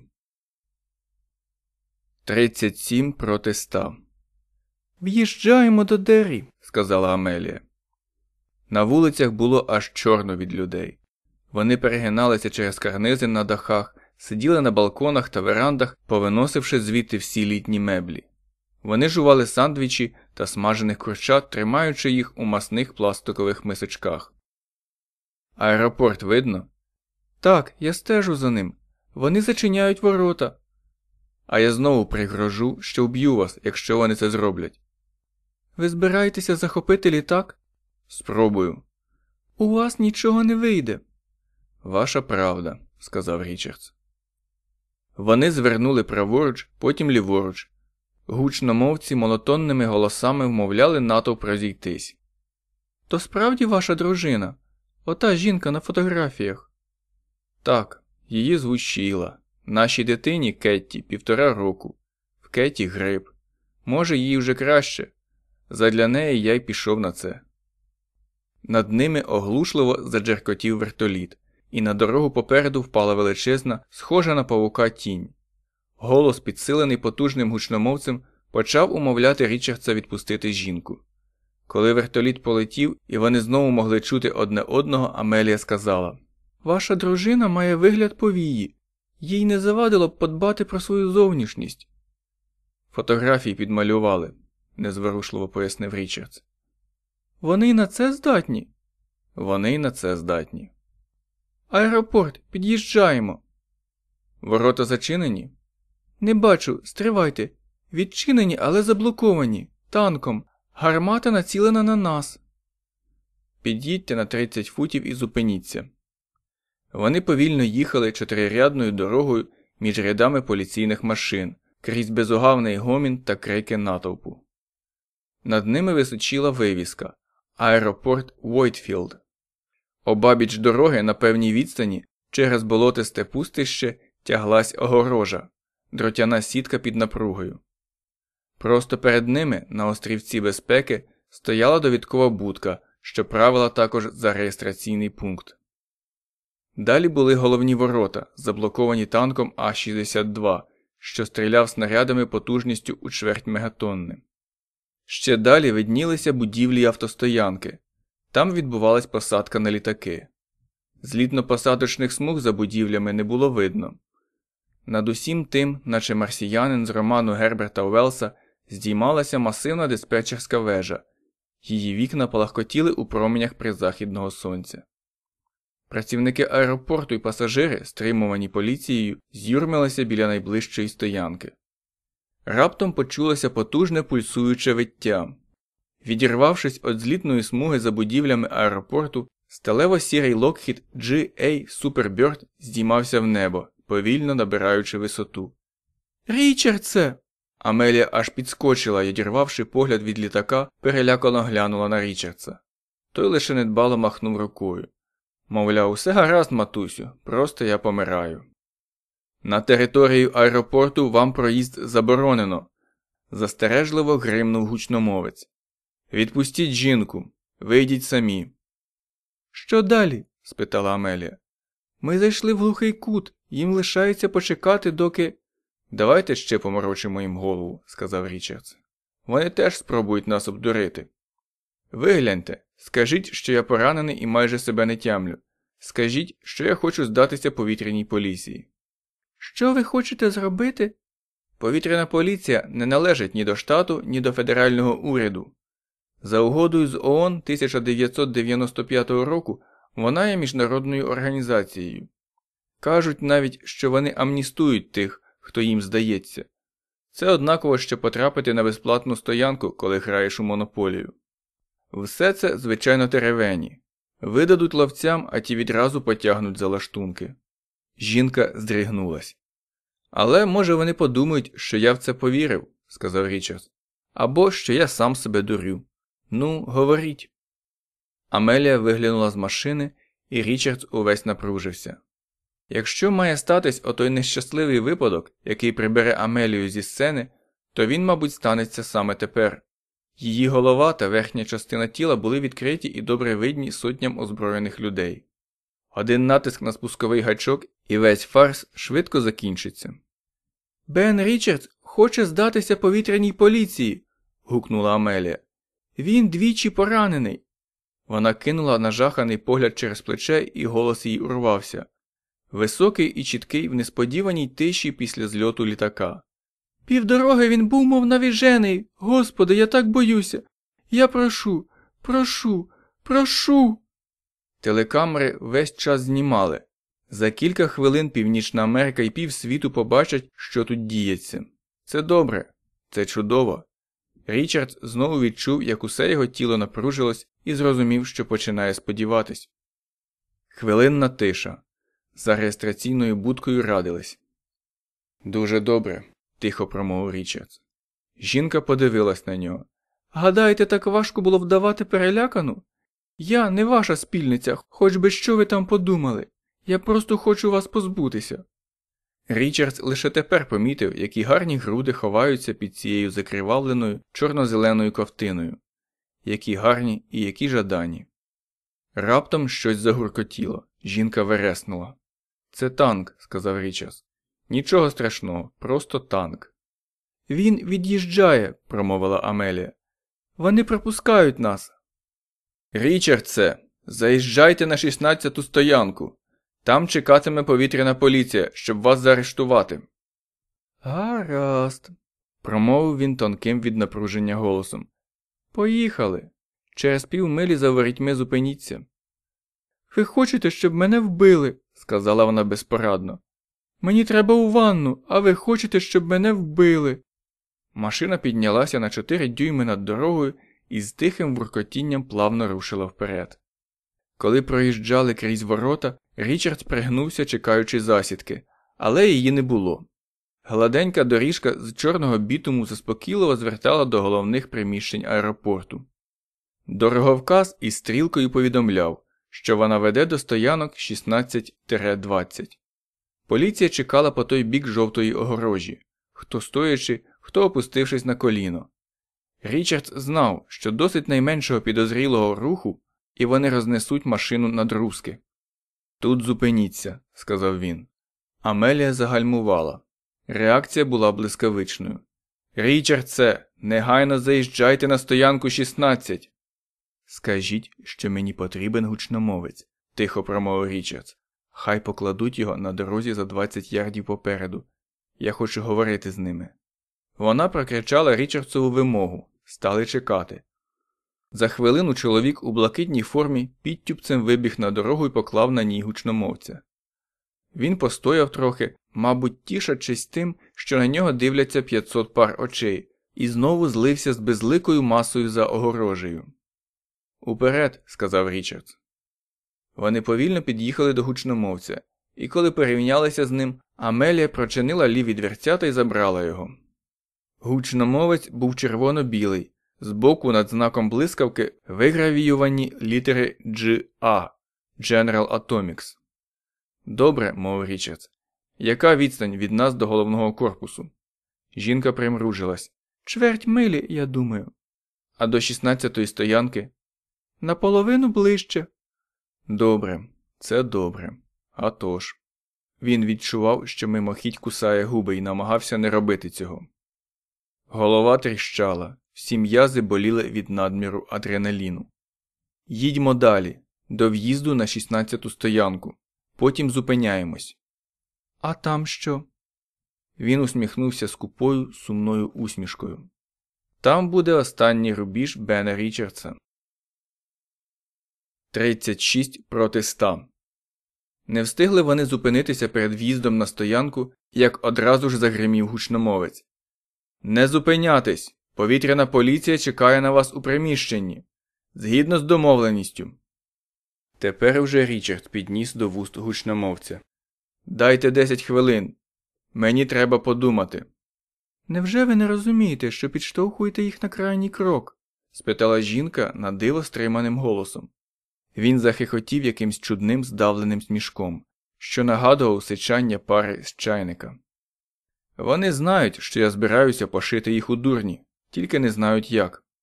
Вам це не вдасться, сказала Амелія. Невже ви й досі цього не розумієте? А може, й удасться.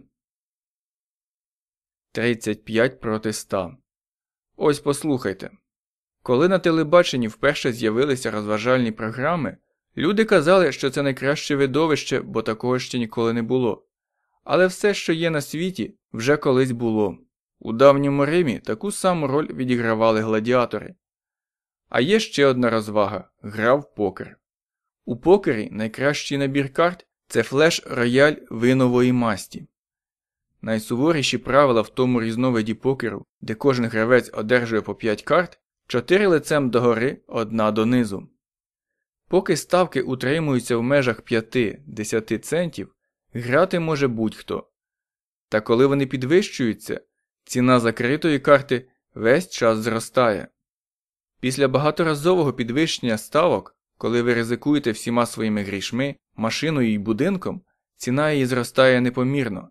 Це вже справжній Еверест серед решти карт. Переслідування багато в чому нагадує цю гру. Тільки за правилами нашої гри мені не належить мати грошей, щоб робити ставки. У них є поліція, зброя, час. Ми граємо їхніми картами, їхніми фішками в їхньому казино. Якщо мене спіймають, я програв. А що як я підтасував карти? Я подзвонив до агентства теленовин, що в Рокленді. Ці агентства моя винова десятка. Мені мусили гарантувати безпеку, бо тепер я у всіх на очах. Після нашої першої зустрічі з дорожнім постом у них більше не було шансів тихенько прибрати мене. Це смішно, бо саме безплатне телебачення робить мережу такою впливовою. Коли ви щось бачите по БТБ, то ви бачите тільки правду. Отож, коли вся країна побачить, як поліція вбиває мою заложницю, заможну громадянку середнього класу, то всі цьому повірять. Вони не можуть ризикувати. Режимові люди й так не дуже тепер довіряють. Смішно, правда? По дорозі ми вже бачили сутички. Якщо поліція та ловці спробують застосувати проти нас зброю, можуть статися прикрі речі. Один чоловік порадив мені триматися ближче до своїх людей. Він і сам не підозрював, як багато правди в його словах. Одна з причин, чому зі мною так панькаються, це те, що я весь час серед своїх людей. Отож ці люди мій виновий валет. Ви, жінка, що вскочила в цю халепу, моя винова краля. Я розбійник з мечем, виновий король. Оце ті карти, що у всіх на видноті. Засоби масової інформації, можливість справжніх заворушень, ви і я. Навіть усі разом ці карти нічого не варті. Без винового туза це просто мотлох, а з тузом вони непереможні. Річардс раптом узяв сумочку Амелію із штучної крокодилячої шкіри зі срібним ланцюжком і запхав її до кишені своєї куртки. Тепер кишеня помітно віддималася. У мене немає туза, стиха промовив він. Я мав би його, якби був трошки завбачливішим. Зате в мене є ота закрита карта, якої вони не можуть побачити. Отож тепер я блефуватиму. У вас немає ніяких шансів, глухо сказала жінка. Навіщо вам моя сумочка? Може, збираєтесь перестріляти їх губною помадою? Вони так довго вели нечесну гру, що в них зрештою здадуть нерви. Вони боягузи. Річардсе, десять хвилин минули. Річард підніс до уст гучномовця. 34 проти 100. Слухайте мене уважно. загримів Річардсів голос над полем аеропорту. Полісмени напружено чекали, що він скаже далі.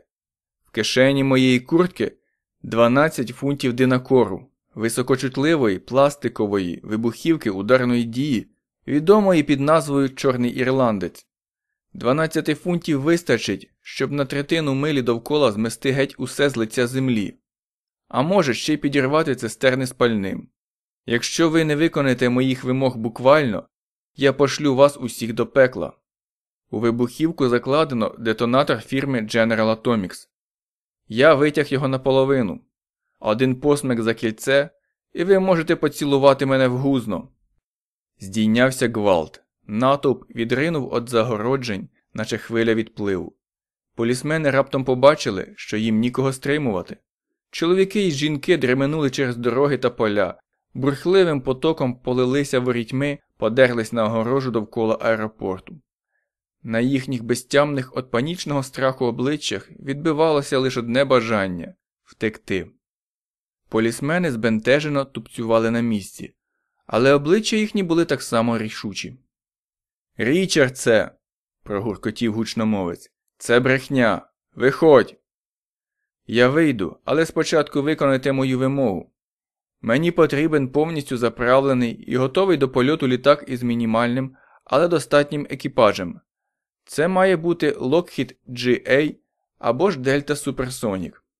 Дальність польоту щонайменше 2000 миль. Готовність через 90 хвилин.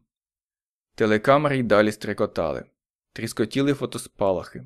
Журналісти теж були неспокійні. Але водночас вони відчували психологічний тиск 500 мільйонів глядачів. Це була реальність, і роботу вони виконували реально. А Річардсові 12 фунтів чорного ірландця могли виявитись простою вигадкою цього гідного подиву злочинця. Річардсе! Від машини, що спинилася за 50 ярдів від 16-ї стоянки, вийшов чоловік. Незважаючи на осінній холод, він був у спортивних штанях та білій сорочці з закасаними до ліктів рукавами. Він тримав гучномовця більшого, ніж у Річардса. На такій відстані Амелія розгледіла тільки невеличкі окуляри, які зблиснули у променях призахідного сонця. Я Івен Маккоун. Річардсові було відоме це ім'я. Воно мало вселити страх у його серце. І він не здивувався, коли таки відчув цей страх.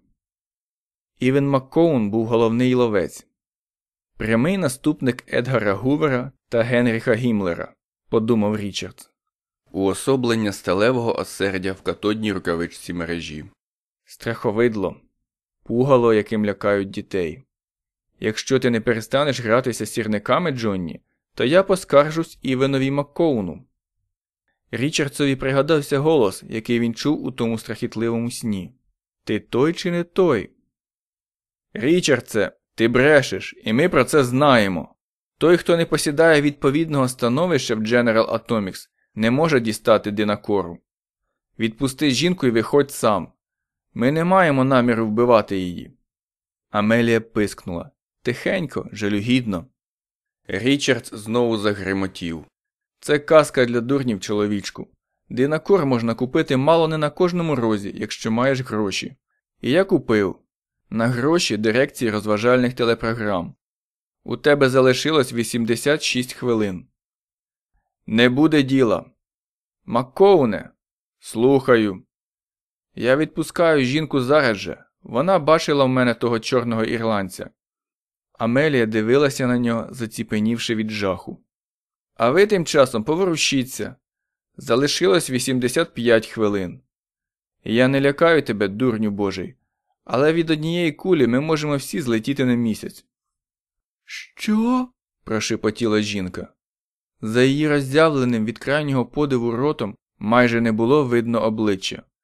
Невже ви гадаєте, що я задля вас брехатиму? Якщо ви цього не зробите, мені каюк. Я й поранений, і поламаний, і ледве тямлю, що кажу. Але так чи так я знаю, що це найкращий вихід. А тепер слухайте динакор білий, твердий, масний на дотик. Він. Ні, ні, ні. Жінка затулила вуха руками. Він нагадує брусок мила Айворі, але набагато твердіший. А тепер я опишу вам кільце детонатора. Жінка заплакала. Я не можу, невже ви не розумієте? Я маю громадські обов'язки, маю сумління, я. Ага, ті здогадаються, що ви брешете, сухо мовив Річардс. Але не бійтесь, бо якщо допоможете мені, ті відступлять, і я полечу як птах. Я не можу. Річардсе, відпусти жінку. Кільце детонатора виготовлене із золота, провадив він. Діаметр близько двох дюймів. Воно схоже на кільце для ключів, тільки ключів там немає. До нього припасований тоненький стрижень, наче кулькова ручка, із спусковим механізмом фірми General Atomics. Механізм нагадує гумку на олівці. Амелія хиталася взад і вперед, стиха постогнуючи. Вона вхопилася руками за щоки і м'яла їх так, наче місила тісто. Я сказав їм, що витяг детонатора наполовину. Отже, ви мали б побачити маленьку позначку над самою поверхнею чорного ірландця. Зрозуміло? Жінка лише плакала, стогнала та хиталася. Певно, що зрозуміло, сказав Річард лагідно. Ти в нас тямуща дівчина, еге?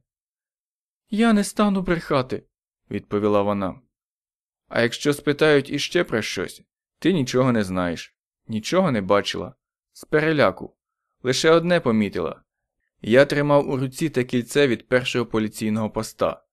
Ти не знала, що воно таке, але бачила його у мене в руці. Краще вбийте мене. Ну, виходь, сказав Річардс. Жінка подивилася на нього, губи її сіпались, в очах була чорна безодня.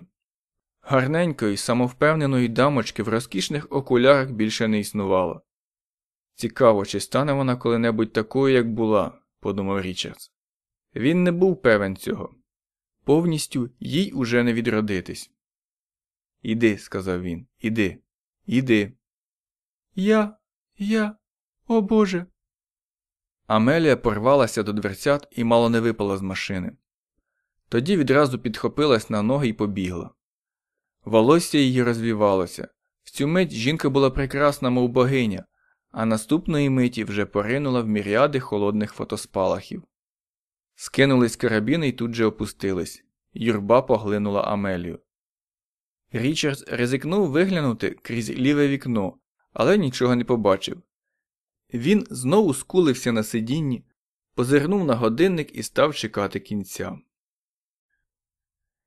33 проти 100 Червона секундна стрілка на годиннику зробила два оберти. Ще два. Ще два. Річардсе. Він підніс гучномовця до уст. 79 хвилин Маккоуне. Грати до кінця. Ось єдиний спосіб підтримувати цю гру. Аж до тієї хвилини, коли Маккоун накаже стріляти. Все скінчиться швидко. Та яке це в біса має значення? Після вимушеної паузи, що тривала цілу вічність, почулося Нам потрібен час, принаймні три години. На цьому полі немає ні Локхіда, ні Дельти. Доведеться пригнати сюди літака. Відважились таки. О, неймовірна великодушність. Ця жінка заглянула в безодню, а потім пройшла над нею, без підстраховки, без надій на вороття. Неймовірно. Звичайно, вони не повірили їй. Це їхня робота нікому й нічому не вірити. Зараз вони, мабуть, квапливо ведуть її в окрему кімнату, де вже чекають найкращі слідчі. Тільки но приведуть, почнуться нескінченні запитання. Звичайно, ви схвильовані, місіс Уільямс, але для протоколу. Чи не могли б ви ще раз повернутися до. Нас спантеличила одна невеличка деталь. Ви впевнені, що це було саме так, а не навпаки? Звідки вам відомо? Чому? І що він сказав? Отже, їм важливо виграти час. Морочити цьому Річардсові голову, виправдовуючись то тим, то тим. Проблема з пальним. Нам потрібен час. В аеропорту зараз немає екіпажів. Нам потрібен час. Над злітною смугою 07 з'явилося летюче блюдце. Нам потрібен час. До того ж, ми ще не зламали її. Вона ще не зізналася в тому, що твоя надпотужна вибухівка в лапках не що інакше, як жіноча сумочка із штучної крокодилячої шкіри, напхана паперовими серветками, дрібними грошима, косметикою та кредитними картками. Нам потрібен час. Ми не можемо зараз убити тебе. Нам потрібен час. Річардсе. Річард не став слухати. Тобі залишилось 75 хвилин, відповів він натомість. Потім усе злетить у повітря. Ніякої реакції. Глядачі почали поволі розходитись, незважаючи на багатообіцяючу тінь Армагеддона, що нависла над аеропортом. Очі в них були розширені, блискучі, збуджені. Кілька потужних переносних прожекторів спрямували на невеличку машину з розбитим лобовим склом. Річардс силкувався уявити собі кімнату, в якій допитують Амелію, але це йому ніяк не вдавалося. Пресу туди, звісно, не допустять. Люди Маккоуна постараються залякати жінку так, щоб аж душа в п'яти сховалася, і ясна річ досягнуть свого. Але як далеко вони наважаться зайти із жінкою, що не належить до безликої маси бідняцького гетто? Наркотики. Річард знав, є такі наркотики, і Маккоун негайно накаже їх застосувати. Таке розв'яже язика навіть індіанцевій племені Які, і він, наче мала дитина, розповідає про всі події свого життя. Під дією цих наркотиків священник вибавкає все, що почув на сповіді зі швидкістю машини для стенографічних записів. А може, застосують силу? Наприклад, модифіковані електрокійки, що так добре зарекомендували себе під час заворушень 2005 року у Сіетлі, чи обмежаться тим, що таранитимуть її методичним повторенням тих самих запитань. З цих думок було мало користі, проте Річард не міг їх позбутись. Із-за будівель аеропорту долинуло виття. Річард безпомильно вгадав прогрівають мотори Локхіда, його птаха. Шум то посилювався, то спадав. Коли зовсім затихло, Річард зрозумів, що почалася заправка. Щоб укластися в 20 хвилин, які залишились, треба було поспішати. Проте Річард сумнівався в тому, що вони поспішатимуть. Так, так, так. Дочекався. Всі карти на столі, крім однієї. Маккоуне, ти ще коперсаєшся? Ти ще не проник у думки тієї жінки? Через поле поповзли тіні. Всі чекали. 32 проти 100. Річард зробив для себе відкриття. Цей давній утертий вираз брехливий. Час не зупиняється, хоч іноді було б краще, якби зупинився. Принаймні це поклало б кінець марним сподіванням. Підсилений гучномовцем, голос двічі нагадував Річардсові, що він бреше. Річардс відповів, що коли так, то нехай стріляють. Через п'ять хвилин інший голос повідомив, що закрилки в Локхіда позаклинювало від холоду і доведеться заправляти іншого літака. Річард сказав, що його це влаштовує, але за однієї умови літак має бути готовий на вказаний час. Повільно минали хвилини. Залишилось 26, 25, 22, 20. Вона ще не зламалася. Господи, може, 18, 15. Знову запрацювали мотори. Їхнє ревіння посилюється, переходить у пронизливе виття. Наземна обслуга випробовує системи подачі пального, перевіряє агрегати польотом. 10 хвилин. 8. Річардсе. Слухаю. Нам потрібен час. Закрилки геть позаклинювало. Доведеться з ними поморочитись, але на це потрібен час. Він у вас є 7 хвилин. Потім я виїжджаю службовим пандусом на поле. Одна рука на кермі, друга на кільці детонатора. Всі ворота мають бути відчинені. Майте на увазі, я наближатимусь до цистерн із пальним. Ви, мабуть, не розумієте, що ми. Розмову скінчено, хлопці. Шість хвилин. Секундна стрілка, як звичайно, робила оберт за обертом. Лишилось три хвилини. Дві, одна. Ось зараз вони із шкури вилазять, щоб зламати Амелію в тій кімнаті, яку він ніяк не міг собі уявити. Річардс намагався викликати в своїй уяві образ Амелії, і не зміг. Її обличчя злилось з іншими, тепер воно було одне, спільне для Стейсі і Бредлі, Елтона і Вірджинії Паракісів, і для того хлопчини з собакою. Він лише пам'ятав, що Амелія ніжна і гарненька. Такі обличчя бувають у багатьох жінок завдяки сучасній косметиці та пластичним операціям. Хірурги знають, що в такому випадку треба підрізати, підшити чи підтягти. Ніжна, ніжна. А проте в глибині душі тверда. Де ж це так затверділа її протестантська душа? Та й чи вистачить тієї твердості? А може, в цю хвилину гру вже програно? Річард відчув, як щось тепле збігає під боріддям. То він попрокушував собі губи. Річард недбало втерся, на рукаві лишилась кривава пляма, й увімкнув передачу. Машина завуркотіла, слухняно підносячись над поверхнею доріжки. Річардсе, якщо ви зрушите з місця, ми відкриємо вогонь. Жінка заговорила, ми все знаємо. Ніхто не зробив жодного пострілу. Річардс був майже розчарований.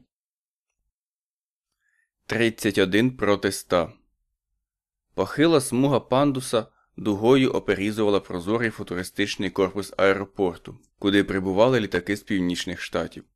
Обабіч доріжки стояла поліція, тримаючи на поготові весь свій арсенал від кийків та балонів із сльозоточивим газом до важкої бронебійної зброї. Обличчя в усіх були сірі, бездумні, на один штип. Річард їхав повільно, сидів рівно, не ховаючись, і вони дивилися на нього з тупим, мало непобожним страхом. Мабуть, так само, подумав Річардс, корови дивилися б на божевільного фермера, якби той ліг у хліві на підлогу і почав репетувати, стукаючи руками та ногами. Ворота перед зоною обслуговування увага тільки для службових осіб не курити, стороннім в'їзд заборонено, стояли отвором, і Річард спокійно проїхав далі повз цистерни з високооктановим пальним та невеличкі приватні літаки на гальмових башмаках. За ними черніла гудроном широка доріжка з температурними швами. А он і його птах чекає велетенський білий аеробус, чути спокійне гудіння всіх 12 турбін. За літаком простяглись у вже згуслий вечірній присмерк злітно-посадкові смуги. Здавалося, на горизонті всі вони сходяться. Четверо чоловіків у комбінезонах підкочували трап. Річардсові той трап нагадав сходи, що ведуть на ешафот. Ніби доповнюючи картину, з величезної тіні літака дрібними кроками вийшов і сам кат Івен Маккоун. Річард розглядав його з цікавістю людини, яка вперше бачить перед собою кінозірку. Хоч би скільки разів бачив її на об'ємному екрані, ніяк не можеш повірити в реальність її існування, поки вона не постане перед тобою в оплоті. От тоді дійсність, хоч як це дивно, починає видаватися галюцинацією, ніби реальна людина не має права існувати окремо від створеного нею образу.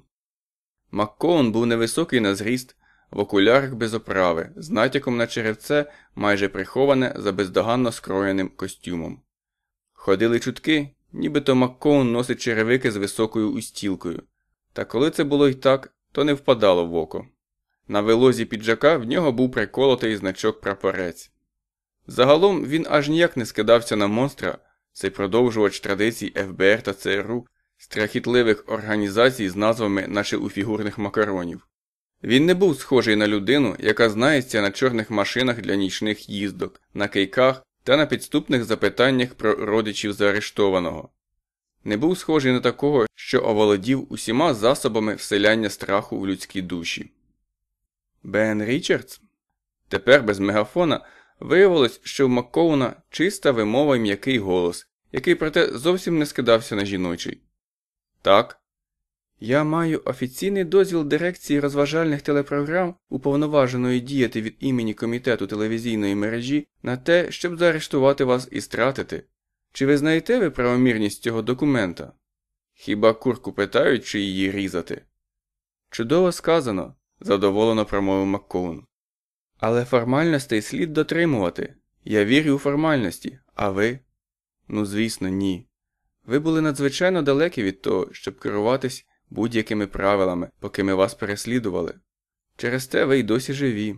Вам відомо, що дві години тому ви побили рекорд програми переслідування 8 днів і 5 годин. Звичайно, ні.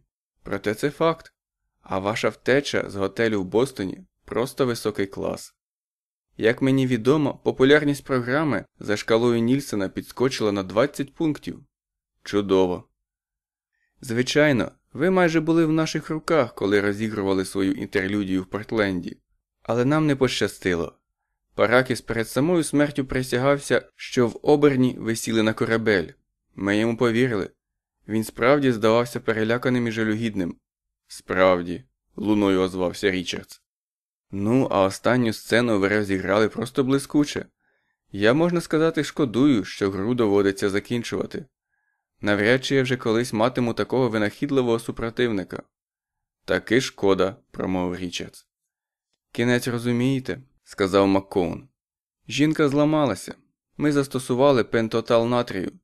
Препарат давній, зате надійний. Він дістав невеличкого пістолета. Вийдіть з машини, містере Річардсе. Я хочу зробити вам останню послугу. Це станеться тут, де ніхто не зніматиме. Ви приймете смерть майже без свідків. Тоді й ти приготуйся, ошкірився Річардс. Він очинив дверцята і вийшов із машини. Вони стояли один проти одного, розділені лише смугою бетону. Тридцять проти ста. Маккоун перший порушив напружену мовчанку. Він скинув головою і засміявся. Сміх був дуже приємний, м'який, оксамитовий. О, ви чудовий гравець, містере Річардсе, пар екселенце. Підвищуєте ставку, оголошуєте масть і знову підвищуєте ставку. Я щиро вас вітаю, жінка не зламалася. Вона вперто твердить те, що віддимає вашу кишеню і є чорний ірландець. Ми не можемо штучно пришвидшити хід подій. Досить однієї енцефалограми, аби зрозуміти, що ми з нею робили.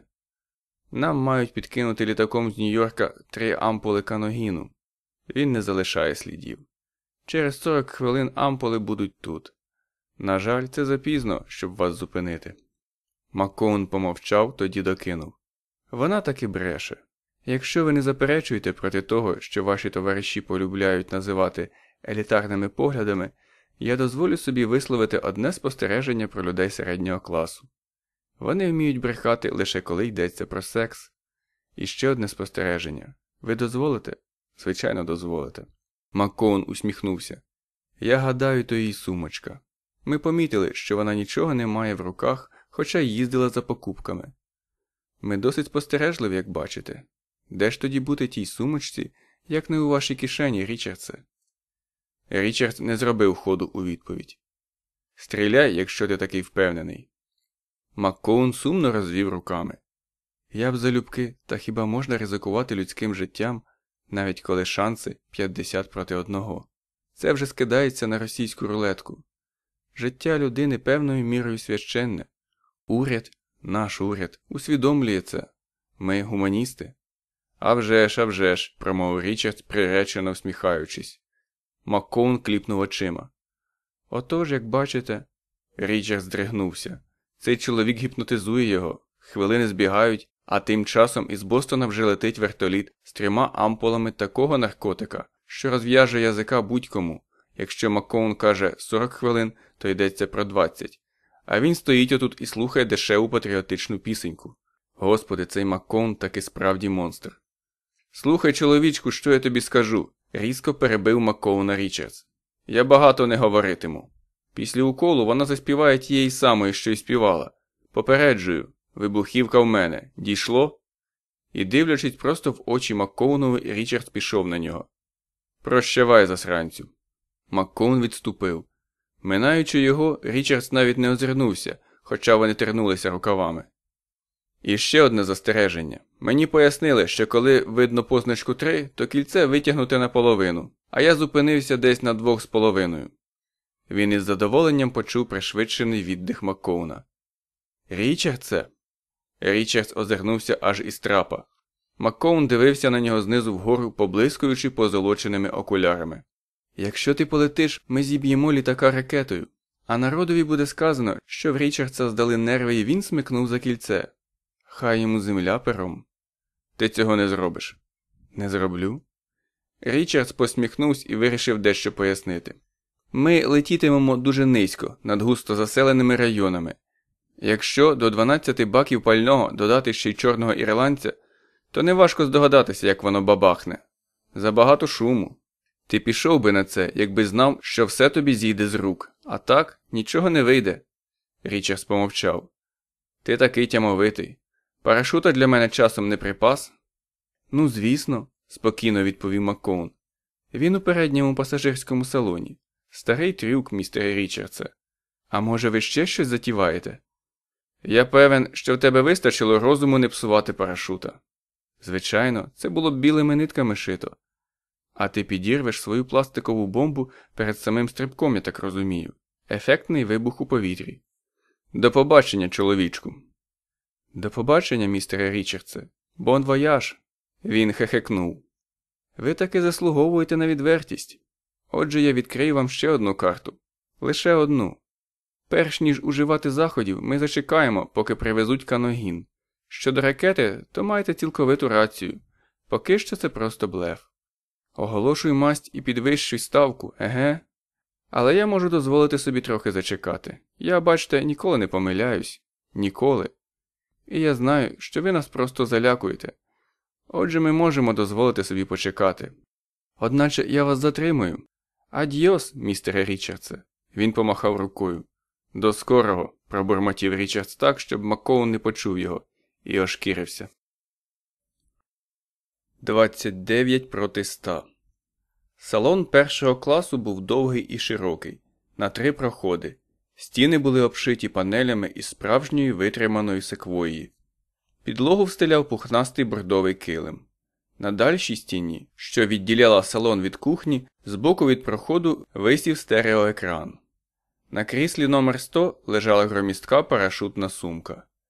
Річард поплескав по ній рукою і пройшов у кухню. Тут хтось навіть каву поставив варитися. Річард вийшов іншими дверима і опинився у короткому вузькому коридорі, що вів до кабіни пілотів. Праворуч сидів радист, чоловік років 30 із сумними зморшками на обличчі. Він кинув гіркий погляд на Річардса і знову втупився у свої прилади. Трохи далі, ліворуч, схилився над своїми таблицями, координатами та картами в пластикових планшетах штурман. Хлопці, ось іде той, хто зібрався нас усіх занапастити, сказав він у ларингофон і зміряв Річардса холодним поглядом. Річардс промовчав. Зрештою, цей чоловік сказав майже правду. Він покульгав далі до кабіни пілотів. Першому пілотові було років 50, коли не більше. Ветеран з червоним носом людини, яка частенько заглядає в чарку, але чистий цупкий погляд свідчив про те, що до п'янички цьому чоловікові ще далеко. Другий пілот був років на 10 молодший, з розкішним рудим чубом, що вибивався з-під кашкета. Вітаю, містере Річардсе, промовив перший пілот, кинувши швидкий погляд на відстовбурчену кишеню пасажира. Вибачайте, що не можу потиснути руку. Я командир корабля Дон Головей, а це другий пілот Вен Данінгер. У такій ситуації не дуже радий вас бачити, сказав Данінгер. У Річардса пересмикнулися губи. З вашого дозволу, я теж шкодую, що опинився тут. Командире, у вас, мабуть, є зв'язок із Маккоуном. Звичайно, через Кіпа Фрідмена, радиста. Дайте мені щось, щоб він мене почув. Головий дуже обережно подав йому мікрофона. Робіть своє діло, сказав Річардс. П'ять хвилин на підготовку до польоту. Розривні болти на задніх дверях готувати? запопадливо спитав Данінгер. Не суньте носа, куди вас не просять, холодно відповів Річардс. Час було закінчувати цю кру, робити останню ставку. Розпечений мозок палав, здавалося, голова ось ось лусне. Оголошую масті підвищу ставку. В цьому полягала гра. Ну, Маккоу, не тримайся. Містере Фрідмен, слухаю, це Річардс. Я хочу говорити з Маккоуном. Півхвилини мертвої тиші. Головей з Данінгером уже не зважали на Річардса. Вони готувалися до польоту, знімаючи показання приладів, перевіряючи закрилки, двері, перемикачі. Знову почулося то наростаюче, то затихаюче виття величезних турбін фірми General Atomics, але тепер воно було гучніше, пронизливе. Коли нарешті обізвався Маккоун, голос його ледве пробивався крізь оглушливий шум. Говорить Маккоун. Збирайся, недоноску. Покатаєтесь разом із жінкою на літаку. Через три хвилини, щоб ти був у дверях. Інакше я висмикну кільце. Данінгер закляк у кріслі, наче вражений кулею. Коли він знову почав перевірку, голос його тремтів від жаху. Якщо в нього стане духу, зараз він оголосить масть. Згадавши про жінку, я виказав себе. Якщо в нього стане духу. Річардс чекав. У голові в нього цокав годинник. 28 проти 100 Коли Маккоун знову заговорив, у голосі його вчувалися чужі, дратівливі нотки. Страх? Можливо. Річардсові тьохнуло в грудях. Може, тепер усе зійдеться? Може. Ти геть здурів, Річардсе, я не. Краще ти послухай, перебив Річард, перекриваючи голос Маккоуна. А поки слухатимеш, пам'ятай, що на нашу хвилю підключились усі радіоаматори в радіусі 60 миль. Жодного слова приховати не вдасться. Ти працюєш не в темряві, чоловічку, ти на великій арені, в усіх на видноті. І ти полетиш зі мною, бо ти боягуз, який ніколи не наважиться не виконати вказівок зверху, до того ж ризикуючи власною головою. А жінка полетить, бо знає, куди я зібрався. Слабо, бий дужче, не дай йому отямитись. Якщо ти й житимеш після того, як я смикну за кільце, тебе не поставлять навіть яблука продавати. Річардс і далі тримав руку в кишені, вчепившись у сумочку Амелії з відчайдушністю маніяка. Я сказав усе. Чекаю три хвилини. Кінець зв'язку. Річардсе, постривай. Річардс перервав зв'язок, і Маккоун замовк на півслові. Перший пілот узяв мікрофон. Його пальці трохи тремтіли. Ну й відчайдух із вас, промовив він поволі. Що правда, то правда. Такого я ще не бачив. Ти ще не те побачиш, якщо він смикне за своє кільце, сказав Данінгер. Закінчуйте підготовку, будь ласка, нагадав Річардс, а я піду зустрічати гостей. Виліт за п'ять хвилин. Повернувшись назад, він переклав парашута ближче до вікна і сів так, щоб бачити двері між салонами першого та другого класу. Незабаром усе визначиться, подумав він. Незабаром усе визначиться. Його рука нервовими, безпорадними рухами м'яла сумочку Амелії Вільямс. На дворі майже споночило. 27 проти 100 Вони піднялися трапом за цілих 45 хвилин до визначеного часу. Амелія була захекана і налякана, а її зачіска нагадувала розкуйобджену копицю сіна після бурі. Маккоун зовні не змінився. Він, як і раніше, був охайний і спокійний, можна сказати, незворушний, лише очі його аж потемніли від зненависті, що межувала зі сказом. Ти нічогісінько не виграв, придурку, спокійно промовив він. Козирями ми ще й не починали ходити. Радий знову вас бачити, місіс Вільямс, лагідно сказав Річардс. Його слова ніби послужили сигналом, зачепили якусь невидиму струну, і Амелія заплакала. То не був істеричний плач, то було безпорадне ридання, що шматтям виривалося в неї із живота. Заточившись, жінка безпорадно сіла на килим, неодмінний атрибут салону першого класу, сіла, затуливши обличчя руками, ніби тримала на них свою голову. Від річардцової крові на її кофті лишилася шкарубка темна пляма. Широка спідниця опустилась на килим, закривши ноги Амелії, і тепер вона нагадувала зів'ялу квітку. Річардсові було шкода її. Почуття було не таке вже й глибоке, але наглибше він не здобувся. Містере Річардсе, обізвався головий по внутрішньому зв'язку. Слухаю. Ви даєте нам зелене світло? Так. Тоді я скажу, щоб відкотили трап і загерметизували машину, тож не хапайтеся за ту штуку. Гаразд, командире, дякую. Ти виказав себе тим, що звелів мені привезти жінку. Ти, мабуть, і сам це розумієш, га? Здавалося, Маккоун усміхався і супився водночас. Це робило його схожим на безнадійного параноїка. Руки його стискалися і розтискались. Невже? скрадливим голосом відказав Річардс. А оскільки ти ніколи не помиляєшся, то звісно ж ти накинешся на мене перш ніж ми піднімемось у повітря. Таким чином і ризику уникнеш, і перед начальством виставиш себе в найкращому вигляді, еге ж? Ледь розтуливши губи, Маккоун щось тихо прогарчав і знову стулив їх так, що аж побіліли. Він стояв непорушно. Турбіни завивали дедалі пронизливіше, в літаку відчувалась ледь помітна вібрація. Раптом шум наче віддалився. Вхідні двері в салон другого класу з грюкотом зачинились. Нахилившись, Річардс виглянув через ілюмінатор з лівого боку і побачив, як наземна обслуга відкочує трап. Тепер ми всі на ешафоті, подумав він. 26 проти 100 На табло ліворуч від стереоекрана спалахнув напис Пристебнути ремені, не курити. Підлога під ногами зрушила з місця. Літак почав незграбно повертати. Річард закликав на допомогу всі свої знання про реактивні літаки, почерпнуті з БТБ та книжок, здебільшого пригодницьких історій. Та хоч як пригадуй, а до реактивного літака він зайшов лише вдруге, і той перший, яким він летів з Гардінга до Нью-Йорка, був проти цього, наче дитяча іграшка. Річардс і далі стояв, і відчуття потужного руху бентежило його. Амелія. Жінка повільно підвела на нього очі. Її згорьованим обличчям збігали патьоки сліз.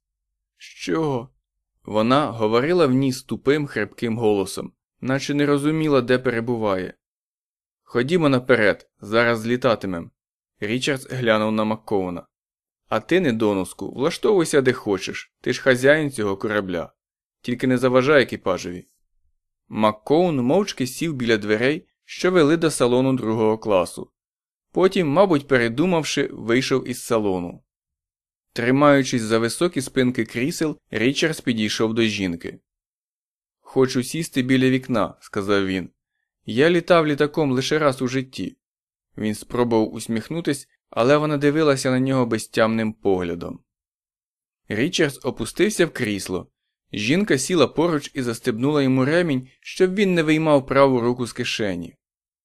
Ви, наче страшний сон, сказала Амелія. Сон, що ніяк не закінчиться. Мені жаль, що так сталося. Я не. почала вона, але Річард затулив її рота долоною і похитав головою. потім видихнув їй в обличчя. Тш.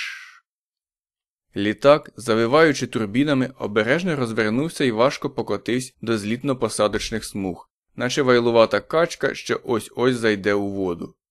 Машина була така велика, що Річардсові здавалося, ніби вона стоїть на місці, а земля рухається їй назустріч. А може, це все облуда? Сяйнула йому в голові шалена думка. Може, вони поставили за вікнами стереоскопічні кінопроєктори? Зусиллям волі він відігнав від себе цю думку. Докотившись до кінця доріжки, літак незграбно звернув праворуч. Тепер він їхав упоперек злітних смуг, поминув одну, другу. На третій повернув ліворуч і на мить зупинився. У переговорному пристрої для внутрішнього зв'язку почувся невиразний голос Головея. Злітаємо, містере Річардсе.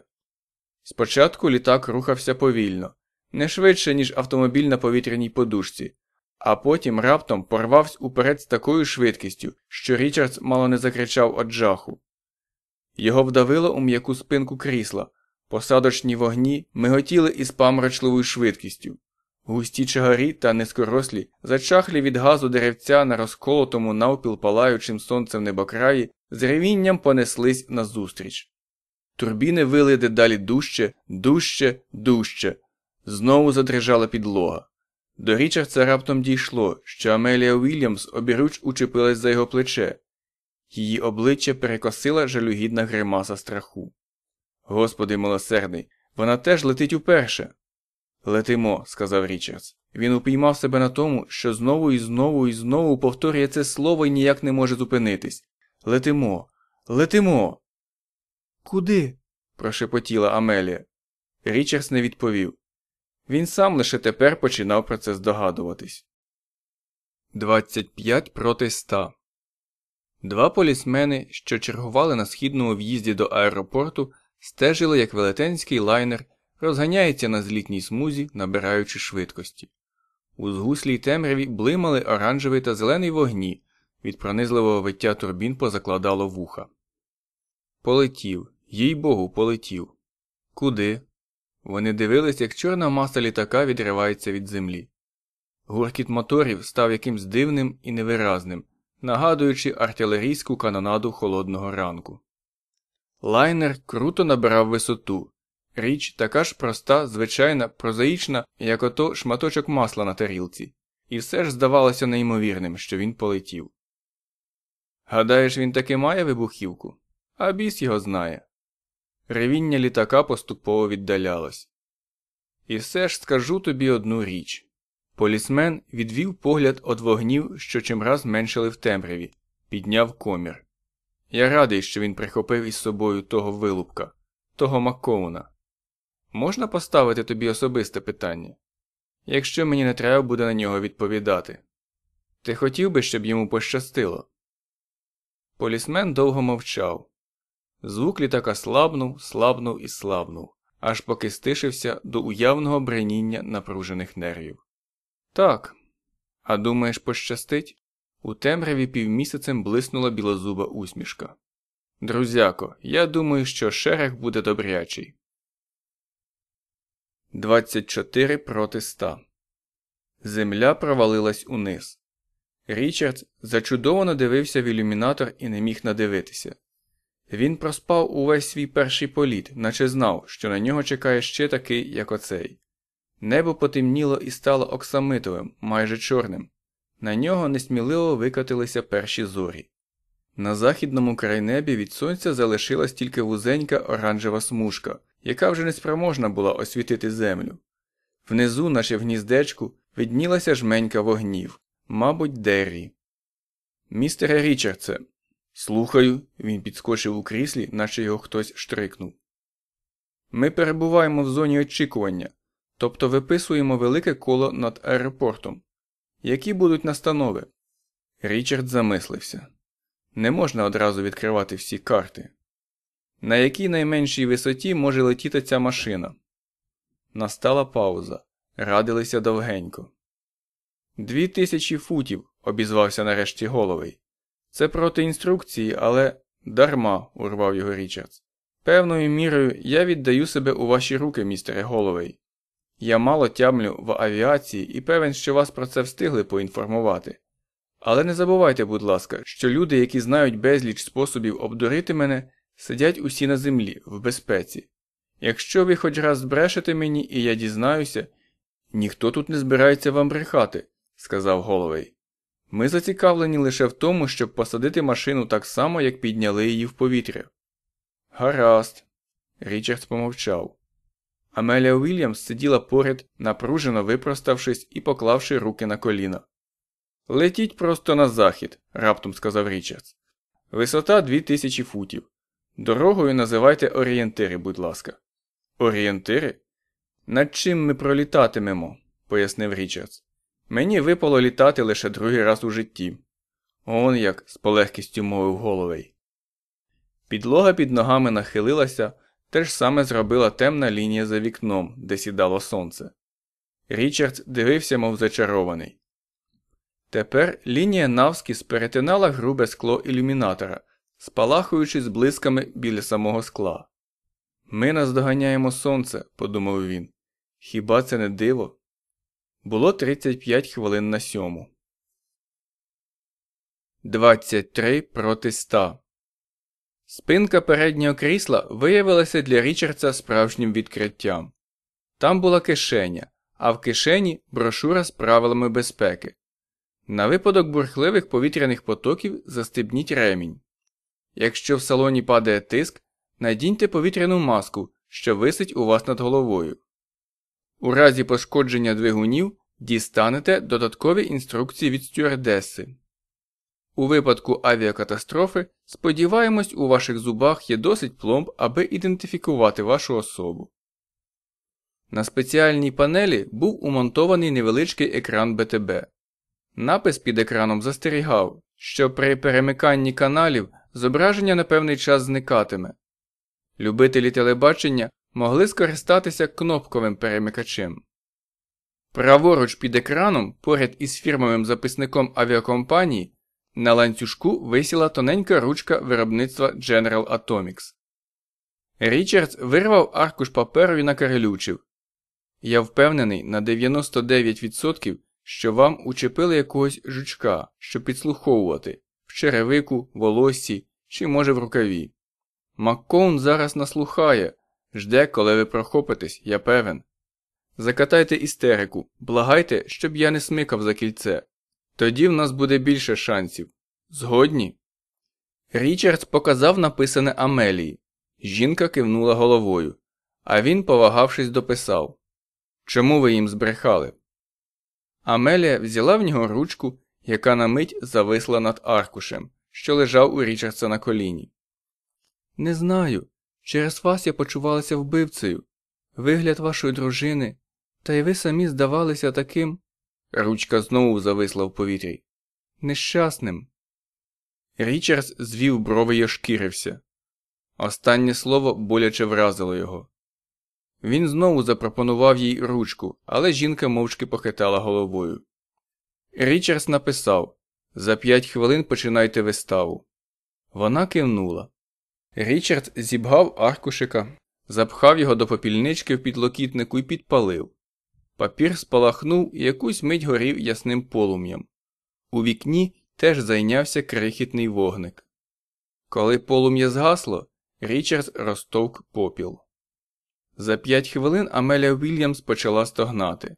Все було так щиро, що Річардс навіть злякався. Потім у нього майнула думка, що, може, вона й не прикидається. Будь ласка, не треба, благала вона. Прошу вас, не випробовуйте його нервів. Я ж вам нічого поганого не зробила. Я хочу додому, до свого чоловіка. У нас теж є дочка, їй шість років. Вона ж питатиме, де її мама. Річардс відчув, як у нього двічі сіпнулась брова. Він не хотів, щоб жінка аж так старалась. Аж так.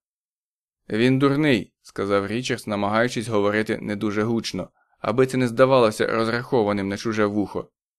Але я сподіваюся, не настільки дурний. Все обійдеться, місіс Уільямс. Вам легко говорити, ви нічого не втрачаєте.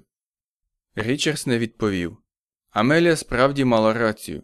Нічого, бо вже все втратив. Ну, покажіть йому, хай побачить, молила вона. Бога ради, чому ви її не покажете? Тоді він повірить. Скаже, щоб скасували тривогу на землі. На нас увесь час націлені ракети. Я сама чула, як він про це казав. Не можу я нічого показати, заперечив Річардс. Щоб дістати її з кишені, треба поставити кільця на запобіжник, тобто ризикувати. Нас усіх тут може рознести на шмаття. До того ж, додав він глузливо, я однаково не показав би її, навіть якби це було просто зробити.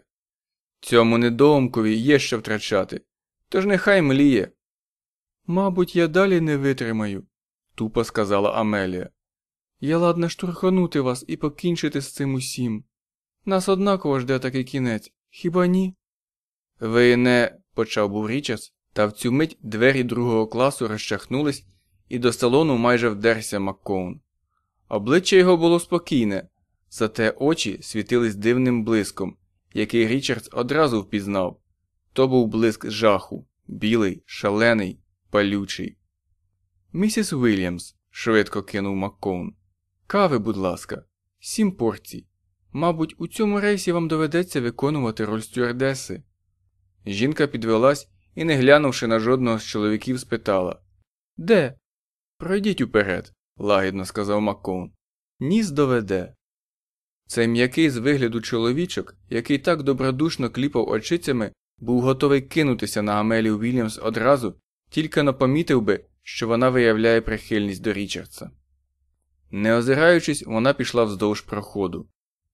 Втупивши погляд у Річардса, Макоун спитав Ти відмовишся від свого задуму, якщо я пообіцяю тобі прощення, друже? Друже, таке масне слово в твоїх устах, здивовано промовив Річардс. Зігнувши пальці на вільній руці, він обдивився руку.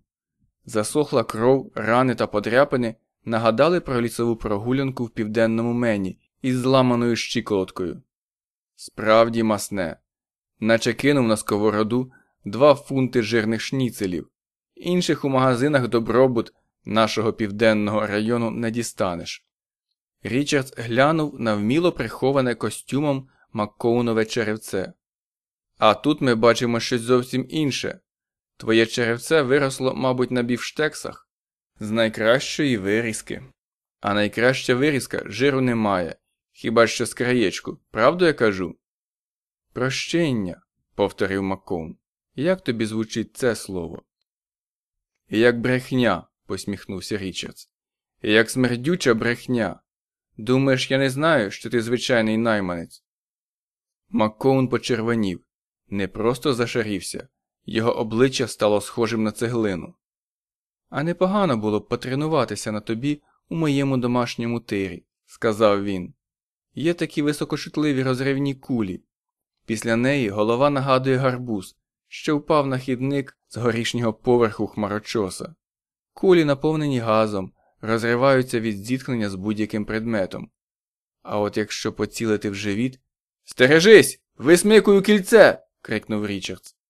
Маккоун пронизливо вереснув, поточився назад і, вдарившись крижами об м'який підлокітник по той бік проходу, перекинувся в крісло, наче в гамак.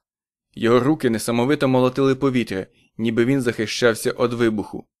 За хвилину, переплівшись пальцями, руки втихли, наче закам'янілі птахи. Обличчя Макоуна прозирало крізь це химерне плетиво, ніби посмертна гіпсова маска, на яку невідомий жартівник начепив окуляри. Річардс реготав. Спочатку то був надтріснутий, несміливий звук, чужий для його власного вуха. Як давно він уже не сміявся отак по-справжньому, щиро, коли сміх вільно, нестримно йде із самого нутра. Мабуть, за своє сіре, сповнене поневірянь чесне життя він ні разу не мав такої нагоди. І ось нарешті він сміявся від душі. Ах ти ж вилупок! Маккоун утратив голос, лише ворушив губами. Обличчя його було пом'яте, мов іграшковий ведмедик, якому добряче дісталося від дитячих рук. А Річард сміявся. Вчепився вільною рукою за підлокітник і сміявся, сміявся, сміявся. 22 проти 100 Голос Головея повідомив, що літак перетинає кордон між штатом Вермонт і Канадою.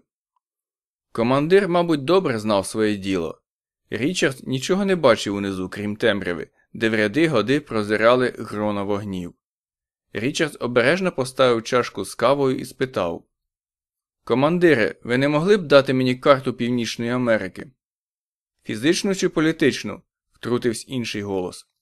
Штурман, подумав Річардс. Тепер саме був час прикинутися заплішеним дурним і вдати, ніби сам не знає, яка йому потрібна карта. А він таки справді не знав. Обидві, рішуче відповів Річардс. Ви прийшлете по них жінку? Як тебе звуть, друже? Той мовчав, приголомшений тим, що на нього звернули увагу.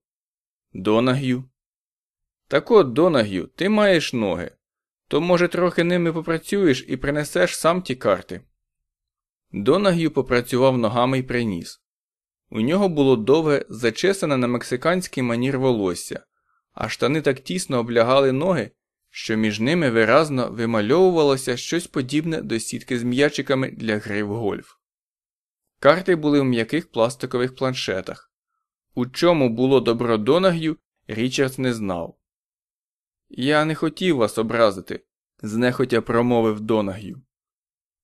Річардсові здалося, що цей тип йому декого нагадує. Ось такі грошовиті молодики, не знаючи, куди подіти свій час, тинялись озброєними ватагами по злиденних злачних місцях великих міст, іноді пішки, здебільшого на мотоциклах. То були гомики, а гомиків треба викорінювати, очистити від них наші демократичні громадські туалети. Такі, як Донаг'ю, воліли обмежуватись цими клубами розпусти і рідко потикатись в нетрища гетто, а коли потикались, їх там стирали на мак. Не витримавши важкого погляду Річардса, Донаг'ю ніяково затупцяв на місці. Вам більше нічого не потрібно? Ти часом не гомик, друже? Що? Нічого, йди, допомагай своїм хлопцям. Донаг'ю квапливо подався геть.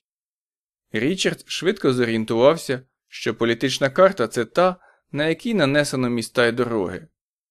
Приклавши до неї пальця від Дері в західному напрямку до кордону між Канадою і Вермонтом, він приблизно визначив точку, в якій перебуває літак. Командире, слухаю, повертайте ліворуч. Як? У голосі голови чулося щире здивування. Я хотів сказати на південь, просто на південь. І пам'ятайте, я пам'ятаю, урвав його головий. Не турбуйтесь. Літак нахилився. Маккоун так і сидів, скарлючившись у кріслі, в яке щойно впав, і витріщався на Річардса хижими очима. 21 проти 100 Річардс відчував, що в ряди годи впадає в дрімоту, і це лякало його. Монотонне гудіння моторів підступно заколисувало.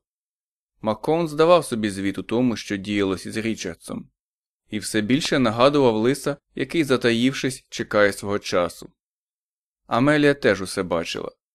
Скулившись жалюгідним клубочком у кріслі біля кухні, вона стежила за обома чоловіками. Річардс випив ще дві чашки кави. Марно.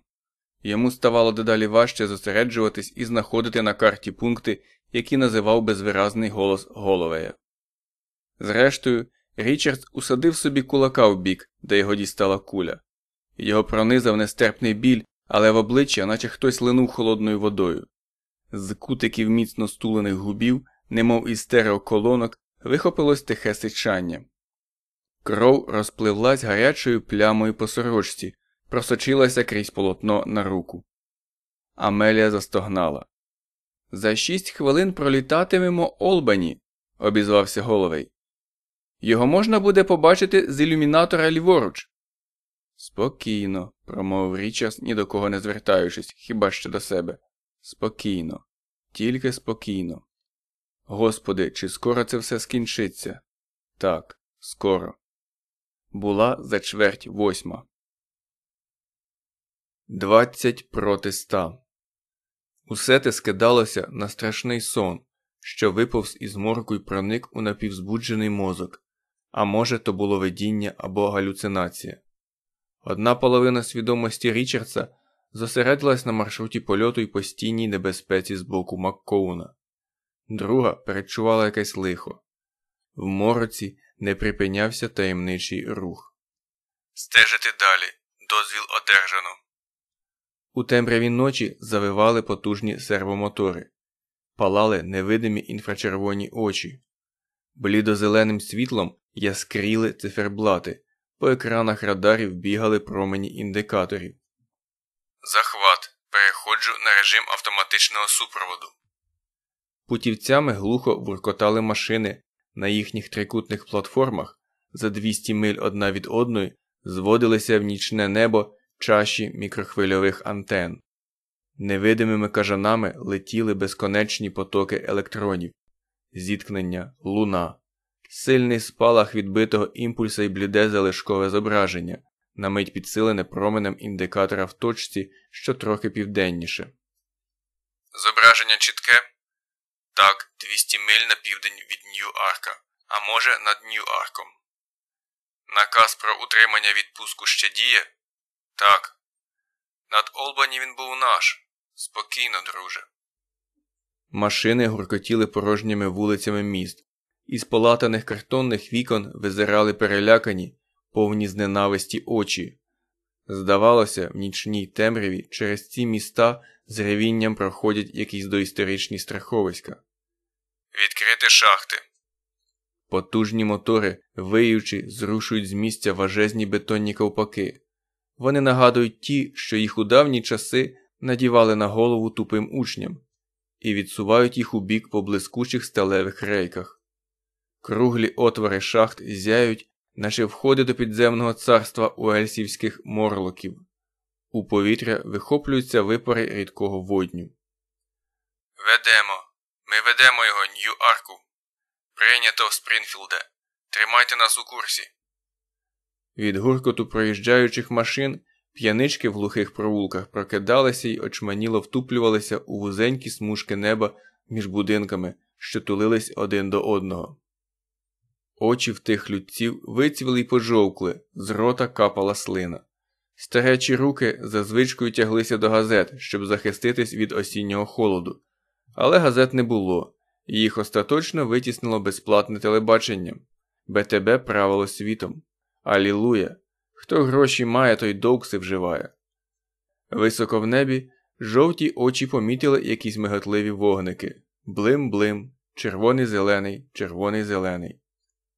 Гуркіт машин завмер у далині, а його відлуння ще металося в кам'яних ущелинах вулиць, наче по них молотили кулаками вандали.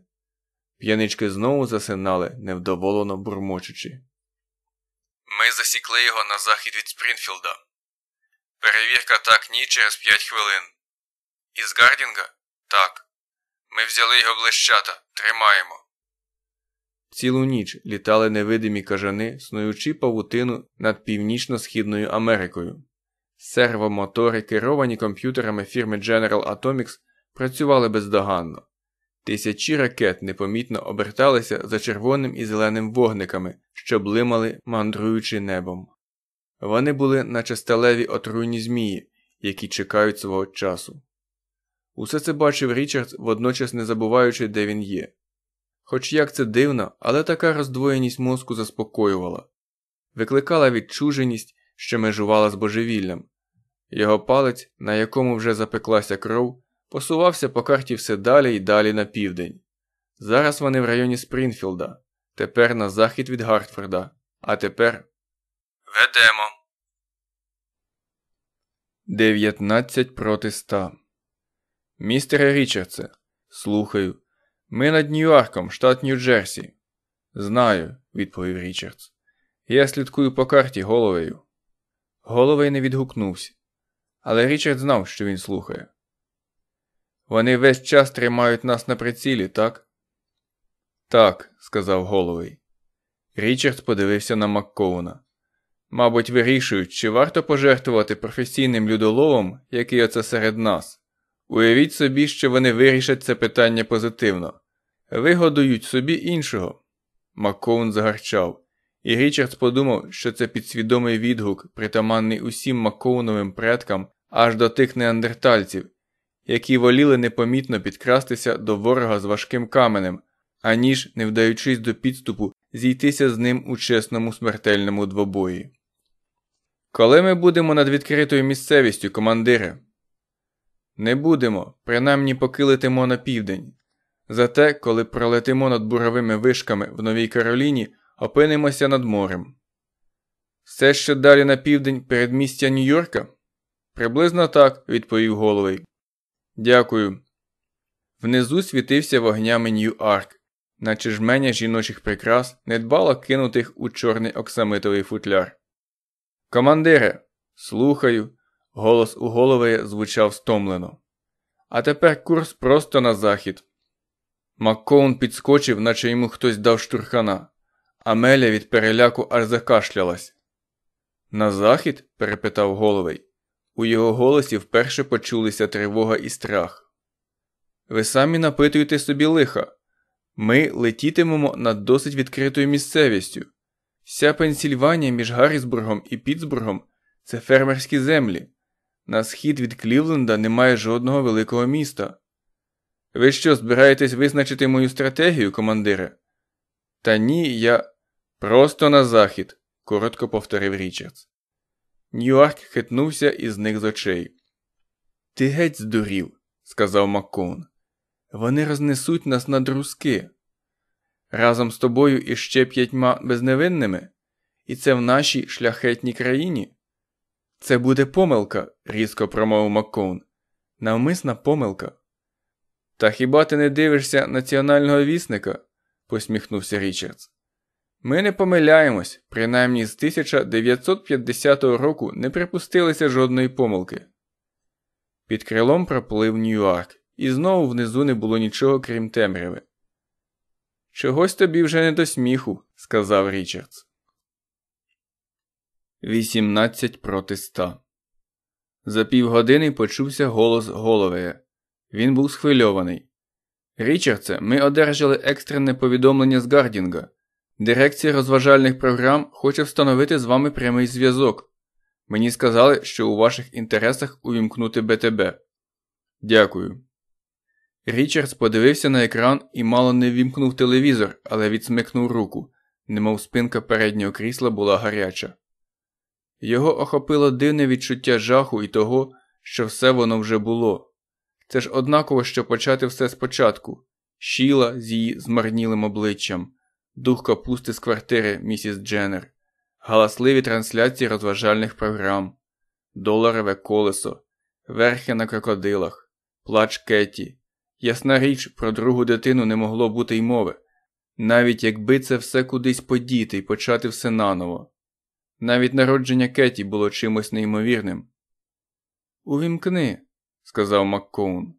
Може, вони хочуть запропонувати нам тобі якусь угоду? Заткни пельку, огризнувся Річардс. Він чекав, поки все його тіло наповнилося жахом, наче важкою водою. В ньому прокинулось недобре перечуття. Все тіло страшенно боліло, рана в боку досі кривавила, ноги охляли, ніби їх відібрало. Він не був певен, що зможе підвестися, коли надійде час закінчити цю безглузду виставу. Крекнувши, Річард знову нахилився вперед і натиск кнопку. На екрані відразу з'явилося напрочуд чітке яскраве зображення.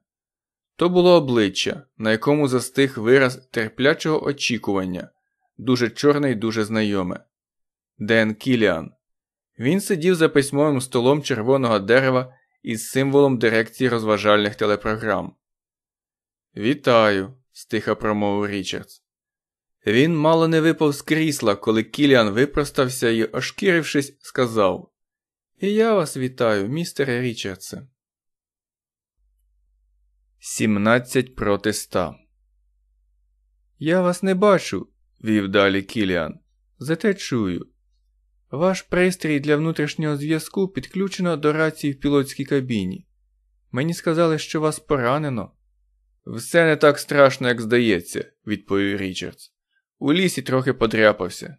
Ну, звісно, сказав Кіліан. Славетна втеча лісом. Бобі Томпсон уже розтрубив про неї сьогодні ввечері.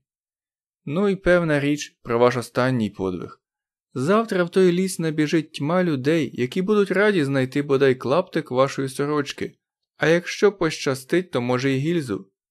Оце вже погано, зауважив Річардс. Я там зайця бачив.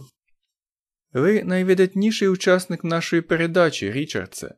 До цього спричинилося й те, що вам пощастило, та й ваша особиста винахідливість. Хоч би там що, а ви, безперечно, досягли неабиякого успіху. Отож ми хотіли б запропонувати вам угоду. Яку угоду? Показати на всю країну, як мене розстрілюватимуть? Захоплення літака найефектніше з того, що ви звершили, але й найбезглуздіше. Знаєте чому? Бо ви вперше одірвалися від своїх людей, ви залишили їх на землі. Це стосується навіть жінки, яка вас захищає. Може, ви думаєте, що вона з вами заодно, може, вона й сама так думає, але це не так. Там у літаку є тільки наші люди, Річардсе. Ви вже труп, ви приречений, остаточно. А мені весь час нагадують, що я ще живий. Останні дві години ви прожили тільки тому, що так захотіла дирекція розважальних телепрограм. Це моїх рук діло. І я пробив схвалення угоди, яку вам пропоную. Стара гвардія страшенно опиралася, такого ще ніколи не було. Проте я свого домігся. Ви запитували, кого варто вбити на самій горі, якщо вам пощастить добратися туди з автоматом. Одним із них був би я, Річардсе. Вас це не дивує? Мабуть, дивує, бо я гадав, що ви просто приручений фірмою Чорнопикий. Кіліан сіпнув головою і засміявся, але сміх вийшов силуваний, сміх людини, яка зробила високу ставку і тепер страшенно хвилюється. Ось яка суть угоди, Річардсе. Ви летите до Гардінга. В аеропорту на вас чекатиме мікроавтобус. Відбудеться церемонія страти, вистава, звичайно. Потім ви приєднаєтесь до нашої команди. Маккоун аж вереснув од несподіванки. Ах ти ж чорнопикий вилупку. Амелія Уільямс заціпеніла. Чудово, промовив Річардс. Я знав, що ви талановитий чоловік, але цей хід був просто геніальний. З вас вийшов би прекрасний продавець старих автомобілів, Кіліане. Хіба поведінка Маккоуна свідчить про те, що я брешу? Маккоун чудовий актор. Він міг би навіть здобути премію за комедію, яку розіграв в аеропорту, відповів Річардс. І все-таки він був спонтеличений. Маккоун хутенько відіслав Амелію варити каву, коли відчув, що через неї може статися вибух. Маккоун увесь час виказував свою люту зненависть до нього. Все це якось не пасує до щойно зробленої пропозиції. Чи, може, пасує? Голова в Річардса пішла обертом. А що, як ви вткнули цю штуку без його відома, розраховуючи на його щиру реакцію? Ви розіграли комедію з пластиковою вибухівкою, містере Річардсе, сказав Кіліан. Ми знаємо, знаємо, що ви нас просто залякуєте. А от на моєму столі є кнопка, маленька червона кнопочка, і я вас не залякую.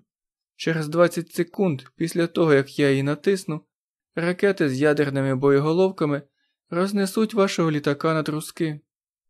Чорний ірландець теж не вигадка, сказав Річардс, одначе відчув у роті кислий присмак.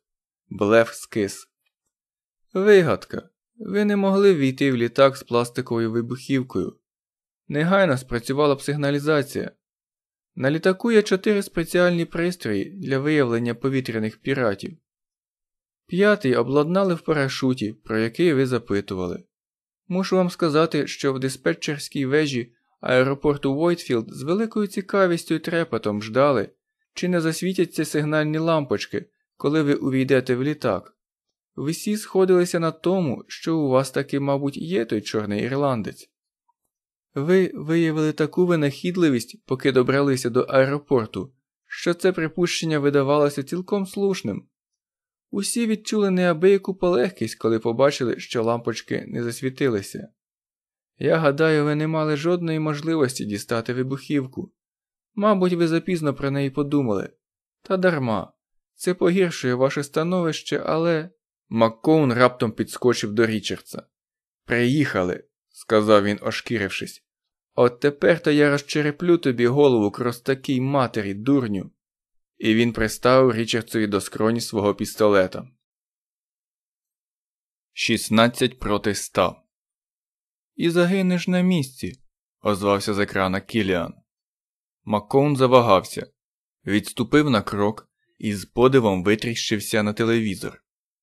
Обличчя його пересмикувалось і морщилося, губи безгучно сіпались. Коли до нього врешті повернулася мова, він просичав Я можу заарештувати його. Тут, зараз же, нам нічого більше не загрожує. Тобі й так нічого не загрожує, бісів йолопе, роздратовано урвав його Кіліан.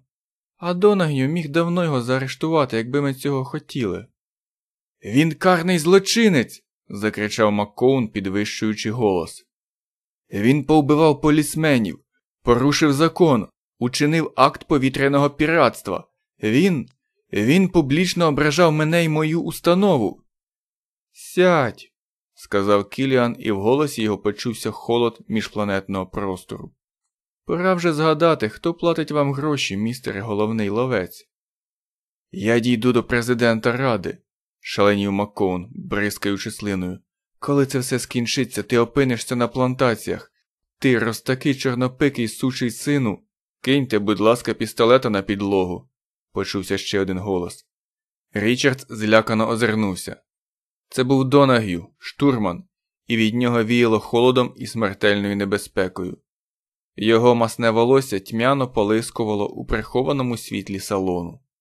В руках він тримав автомат Magnum Springsteen із складним прикладом, націлений на Маккоуна. Я Роберт С. Донагю з контролю Ради розважальних телепрограм. Пістолета на підлогу.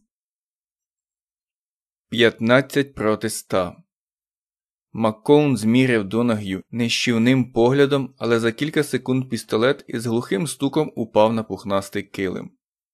Ти. Я гадаю, ми вже наслухались вашого потякання, перебив його Донаг'ю. Будьте слухняним хлопчиком. Підіть у другий клас і посидьте там. Загарчавши в безсилій люті, Маккоун ступив кілька кроків назад. Він дивився на Річардса поглядом вампіра з давніх фільмів жахів вампіра, який злякався Христа. Коли він пішов, Донаг'ю, махнувши пістолетом в іронічному привітанні, посміхнувся до Річардса. Більше він вам не докучатиме. Ти однаково схожий на гомика, безвиразним голосом промовив Річардс. Легка усмішка на обличчі Донаг'ю згасла. Він неприязно глянув на Річардса і подався в носовий відсік. Річардс обернувся до екрана. Пульс у нього був ідеально рівний, він не задихався, руки не тремтіли. Смерть стала нормою життя. Ви слухаєте, містере Річардсе? спитав Кіліан. Слухаю. Проблему розв'язано? Так. Добре, тоді дозвольте мені повернутися до нашої розмови. Прошу. Почувши тон його відповідей, Кіліан зітхнув. Як я вже казав, ми все знаємо. Це знижує ваші акції, зате збільшує вашу довіру до нас. Ви розумієте чому? Так, відчуженим голосом відповів Річардс. Ви могли зняти цього металевого птаха з неба в будь-яку хвилину. Або голови з вашого дозволу посадив би його будь-де на свій розсуд, а Макоун пришив би мене. Саме так. Тепер ви вірите в те, що ваш блеф не є для нас таємницею? Ні, але ви граєте краще за Маккоуна. Підсадити в літак свого хлопця добрячий хід. Ну, Річардсе, ви просто чудо. Рідкісний екземпляр, засміявся Кіліан, одначе в голосі його знову вчувалася силуваність. Річардсові спало на думку, що Кіліан приховує від нього таке, про що дуже не хоче говорити. Якби ви справді мали вибухівку, то смикнули б за кільце тоді, коли Маккоун приставив вам пістолета до голови. Ви знали, що він вас уб'є, а ви сиділи й чекали. Річард знав, що це кінець, знав, що вони все знають. На його обличчі промайнула гірка усмішка. Кіліан оцінить його хід. У нього гострий іронічний розум. Хай заплатять за те, щоб побачити останню карту. Я не вірю жодному вашому слову. Якщо ви штовхнете мене на це, все злетить у повітря. Не були б ви самі собою, якби не довели свій задум до кінця. Містере Донагію, слухаю, сер. Діловий незворушний голос Донагію почувся майже водночас у пристрої для внутрішнього зв'язку у телевізорі. Підійдіть, будь ласка, знову до містера Річардса і дістаньте із його кишені сумочку місіс Уільямс. Але сам він при цьому має лишитись цілий і неушкоджений. Слухаю, сер. Річардсові чомусь пригадався перфоратор, що пробивав дірки в його пластиковій картці в будинку розважальних телепрограм. Клац, клац, клац. У салоні знову з'явився Донаг'ю і рушив просто на Річардса. Обличчя мав спокійне, холодне, безвиразне. Запрограмований, промайнуло Річардсові. Стій, хлопче, промовив він, ворухнувши рукою в кишені куртки. Твій хазяїн у безпечному місці, на землі, а ти, в разі чого, полетиш на місяць. Донаг'ю на мить уповільнив сягнисту ходу, а в очах його прозирнула нерішучість. Але він зараз же знову впевнено рушив уперед. Так само він прогулювався плазуровим берегом, чи підступав би до гомика, який щось жалісно белькоче, зіщулившись від страху в глухому провулку. Може схопити парашута і спробувати втекти? Марна річ. Куди тікати? Далі чоловічого туалета в кінці салону третього класу не втечеш. До зустрічі в пеклі, стиха промовив Річардс і смикнув рукою в кишені. Цього разу реакція була кращою. Не зовсім задовільною, але кращою. Донагів крекнув і скинув руки вгору, захищаючи обличчя. Цьому рухові було стільки ж років, скільки самій людині. Потім, упевнившись, що він ще на цьому світі, опустив руки, збентежений і розлючений. Річардс дістав із брудної подертої кишені сумочку Амелії Уільямс і пожбурив нею в Донагію. Сумочка вдарилась йому в груди і м'яко впала до ніг, наче підстрелена пташина. Винята з кишені рука була слизька від поту. Вона лежала в Річардса на коліні, незвично біла й чужа. Донаг'ю підняв сумочку, недбало оглянув її і подав Амелії. Річард дивився, як сумочка переходить із рук у руки, і його охопило безглузде почуття смутку. Здалося, ніби він втрачає старого друга. Бабах, стиха промовив він. 14 проти 100 Ваш хлопець тримається непогано. Стомлено зітхнув Річардс, коли Донаг'ю вийшов із салону. Правда, я його трохи налякав, але я думав, що він і штани замочить. У Річардса почало час від часу двоїтися в очах. Він обережно оглянув рану. Кров на боці знову запікалась, але повільно. Ну, а що далі? спитав він. Поставите камери в аеропорту Хай кожен бачить, що небезпечний злочинець діждався свого. Далі пропозиція, лагідно сказав Кіліан. На його чорному обличчі нічого не відбивалось, та хоч би що він там приховував, однак скоро відкриє карти. Річард це знав, і раптом його знову пойняв жах. Захотілося простягти руку і вимкнути телевізор, не слухати більше нічого. Він відчув, як усередині в нього все починає повільно і загрозливо пульсувати. А вимкнути телевізора він не міг. Звичайно, ні. Зрештою, це ж безплатне телебачення. Відступися, сатано, пробурмотів він сам собі. Що? здивувався Кіліан. Нічого, кажіть, чого хочете. Кіліан не відразу почав говорити. Він подивився на свої руки, потім знову звів погляд. Річард відчував, як від недоброго перечуття стогне якийсь, він не знав який, закуток його мозку.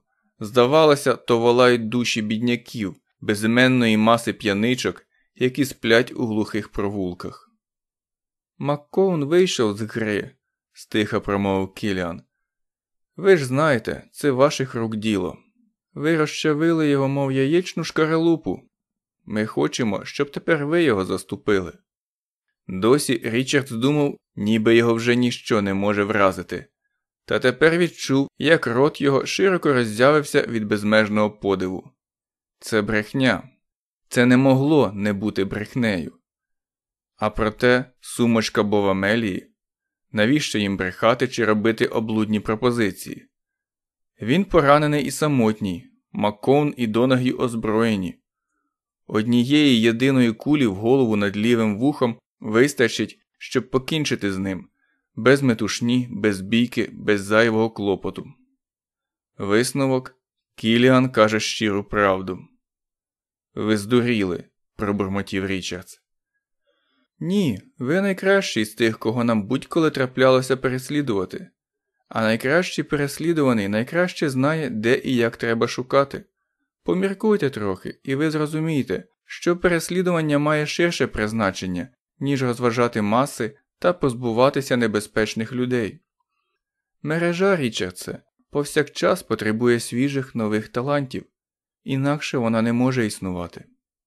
Річардс хотів щось сказати, але не міг.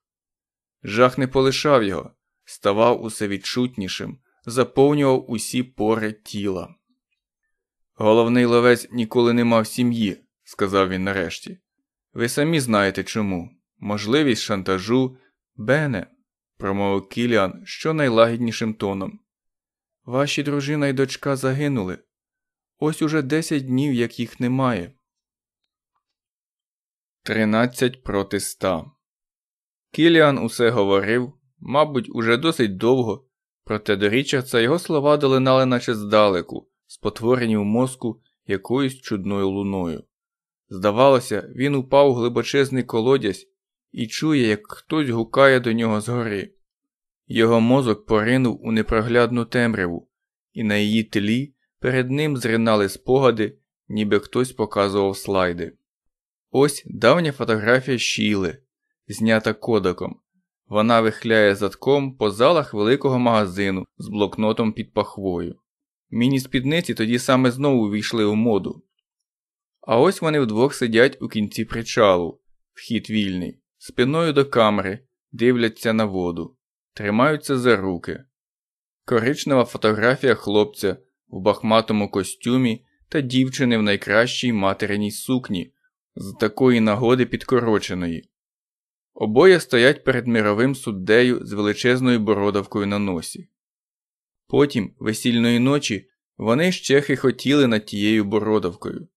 Далі неприкрашена дійсність, чорнобілий знімок чоловіка з оголеними грудьми у свинцевому фартусі, який тримається за масивний важіль у великому, схожому на склеп підземному приміщенні, освітленому дуговими лампами.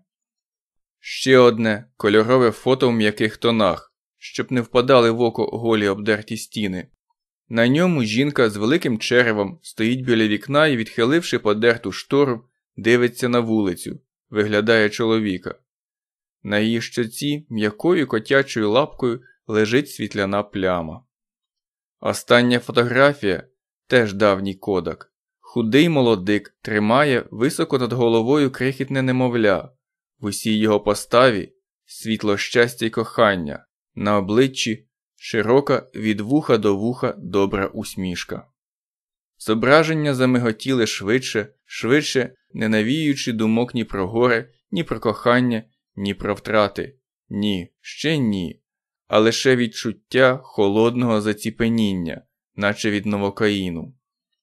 А Кіліан усе запевняв, що мережа не причетна до їхньої смерті, що це просто жахливий випадок. Річардсові здавалося, ніби він вірить йому, не тільки через те, що ця історія надто неймовірна, аби не бути правдою, а й через те, що Кіліан знав, якщо Річардс погодиться на цю посаду, він одразу ж побуває в південному районі, і йому вистачить однієї години, аби з'ясувати, як воно достеменно було. Грабіжники троє. А може, клієнти? шпигонула болісна думка. Голос Шіли по телефону звучав тоді трохи насторожено, наче вона щось приховувала. Вони були, мабуть, під впливом наркотиків, може, погрожували малій, а Шіла намагалася захистити доньку. Обидві померли від колотих ран. Ця думка повернула Річардса до дійсності. К бісу твою бредню. крикнув він раптом, аж Амелія зіщулилась і затулила обличчя долонями. Що з ними сталося? Кажи, що з ними сталося. Мені нема чого більше сказати. На вашій дружині понад 60 ножових ран. Кетті, промовив Річард безживним голосом. Кіліан здригнувся. Бене, може, вам потрібен час, щоб подумати? Так, так, потрібен. Мені страшенно жаль, дуже. Присягаюся рідною матір'ю, ми до цього не причетні. Якби ви погодились на нашу пропозицію, ми влаштували б це інакше, оселили б їх десь в іншому місці, а ви могли б їх навідувати. Людина неохоче працює на тих, хто так жорстоко знищив її сім'ю. Ми це розуміємо. Мені треба подумати. Як головний ловець, лагідно вів далі Кіліан, ви мали б змогу знайти тих мерзотників і розправитися з ними, та й з багатьма іншими, такими як вони. Я хочу подумати до побачення. Я ще. Річард протяг руку і вимкнув телевізор. Сидів у кріслі, наче закам'янілий, руки безсило повисли між колінами. Літак і далі гудів крізь пітьму. Ну от, подумав він, усе стало на свої місця. Геть усе. Дванадцять проти ста. Минула година. Поговорити, морж сказав, і з вами я хотів про туфлі, кораблі, сургуч і чи ведмідь летів. Перед ним пролітали спогади Стейсі, Бредлі, Елтон Паракіс з його дитячим обличчям, кошмари втечі, підпалені останнім сірником газети в підвалі Бостонського готелю, машини з бензиновими моторами, вищання гальм на шаленій швидкості, автомат, що плюється полум'ям кислий голос Лафліна, фотографії тих двох дітей. Добрі агенти були б для гестапо. Ну а чому би й ні?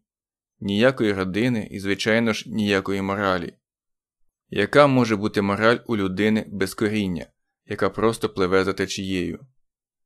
як мудро подбав Кіліан про те, щоб із спокійною, лагідною жорстокістю показати Річардсові, який він самотній. Бредлі з його пристрасними розмовами про забруднення повітря, що видавалися тепер далекою, нереальною, позбавленою будь-якого значення балаканиною, носові фільтри. А тож, був час, коли ця проблема здавалася надзвичайно важливою. А тепер ні. Бідняки завжди лишатимуться з тобою. Це правда. Річард сам порадив жертву смертоносної державної машини. Та настане час і знедолені пристосуються до нових умов, з'являться мутанти. За 10-50 тисяч років їхні легені вироблять свою власну фільтрувальну систему, і ці люди повстануть, повиривають фільтри у своїх гнобителів і дивитимуться, як ті корчаться і конають, задихаючись в атмосфері, де кисень відіграє другорядну роль. А яке ж тоді майбутнє в Бена Річардса? Він сам себе ошукає. Надійде й час горювання. Вони сподіватимуться цього, все передбачать. Будуть хвилини, коли він лютуватиме, бунтуватиме. Знову спробує розповісти людям про навмисне отруєння атмосфери? Можливо. Але вони подбають, щоб цього не сталося. Подбають про нього, сподіваючись, що колись і він подбає про них. Інстинкт підказував йому, що він здатен на таке. Він навіть підозрював, що має хист до цієї справи. Вони допоможуть йому, зцілять, мають на те ліки й лікарів, ті змінять його погляди. І тоді спокій. Інакомислячих виполють, як бур'ян. Він мріяв про спокій з такою самою жагою, з якою спраглий у пустелі мріє про воду. Амелія Уільямс плакала ще довго, хоча мала б уже давно виплакати всі сльози. Річард байдужно думав, що з нею буде далі. Тепер їй навряд чи варто повертатися до чоловіка і родини. Просто вона вже не та жінка, яка зупинила свою машину тоді на дорозі, заклопотана думками про кулінарні рецепти та обіди, клуби та зустрічі. В ній з'явилося щось від червоних. Мабуть, тепер їй пропишуть ліки, процедури, терпляче пояснюватимуть переваги існуючого ладу. З'ясують, де розійшлися дві дороги, причину вибору хибного шляху. Справжнє свято для тих, хто полюбляє коперсатися в глибинах людського мозку. Бенові раптом захотілося підійти до жінки, заспокоїти, сказати, що її не зовсім зламали, що навіть один лікувальний сеанс із застосуванням сучасних засобів психотерапії поверне її до нормального стану, і вона почуватиме себе навіть краще, ніж до цієї пригоди. Шіла, Кеті. Ці імена зринули в голові й повторювались, бамкаючи, наче дзвони, поступово втрачаючи значення від безконечного повторення. Повтори своє ім'я 200 разів, і ти зрозумієш, що ти ніхто. Горе було йому недоступне, його охопило невиразне почуття роздратованості й збентеження. Вони впіймали його, перекрили кисень, і тоді виявилось, що всі його погляди й мідяка не варті.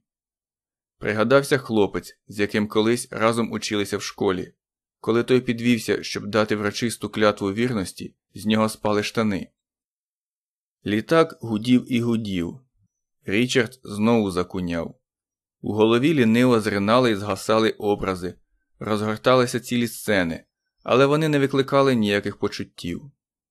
І ось ще одна фотографія глянцева 24 на 30, зроблена знудженим поліційним фотографом, який, мабуть, у ту хвилину жував гумку. Речовий доказ номер такий-то, панове присяжні. Дитяче тіло з колотими та різаними ранами в залитому кров'ю ліжечку. Кров'яні плями та патьоки на стіні та на поламаній грі матуся гусака, куплені за 10 центів, липкий згусток крові на іграшковому ведмедику з одним оком. Видіння вирвало його зі сну. Річард рвучко підвівся і з його широко роззявленого рота почали вихоплюватися невиразні крики. Повітря вирвалось із легенів з такою силою, що язик затріпотів, наче вітрило на вітрі. Усе в салоні раптом набуло чітких образів і накотилося на нього, мов хвиля морського прибою, гнітюче і жахливе. Ця реальність була така ж страшна, як і та, що її показували в кліпах агентства теленовини. Наприклад, мертвий Лафлін, якого витягали з тієї повітки в топіці. Все, все там було дуже натуральне і в кольорі. Нажахана Амелія теж скрикнула, зіщулившись у кріслі з широко розплющеними, схожими на потріскані порцелянові кулі на ручках дверей очима, силкуючись усунути в рот цілого кулака. До салону через кухню вдерся Донагів з пістолетом у руці, в очах на мистинах спалахували гарячкові зблиски. Що тут діється? Що сталося? Маккоун?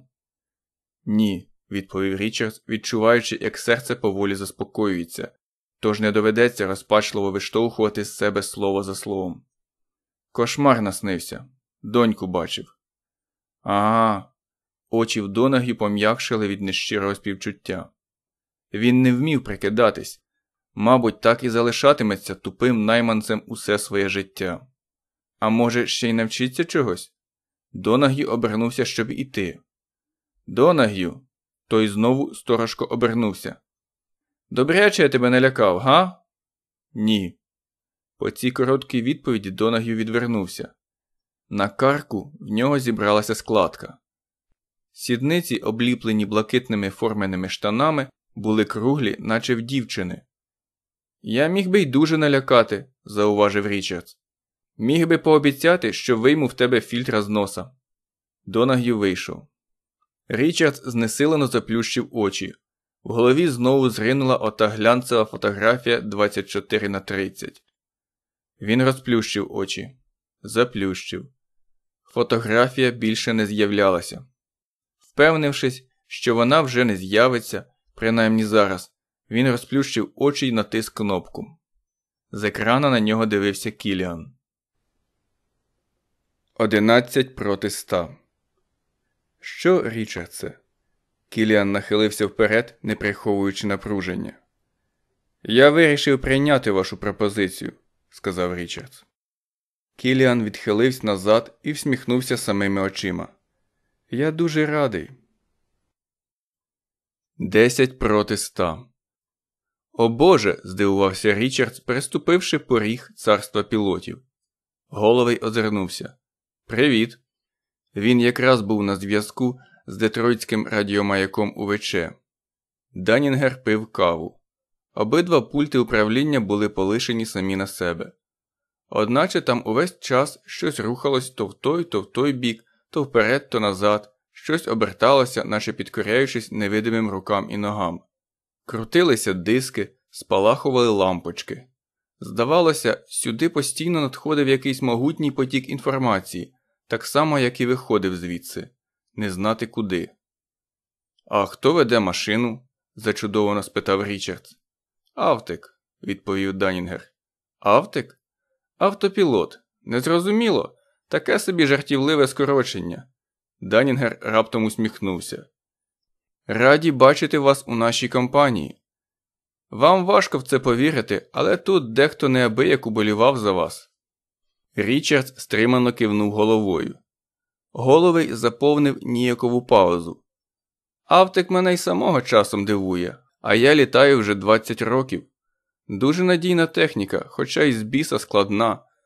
Проти неї старий автопілот однаково, що ящик від апельсинів проти комоду 18 століття. Та невже, промовив Річард, втупившись у нічну темряву.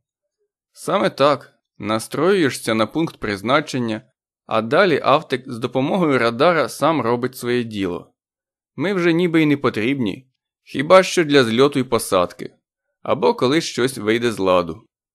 А багато ви можете зробити, коли щось вийде з ладу? спитав Річард.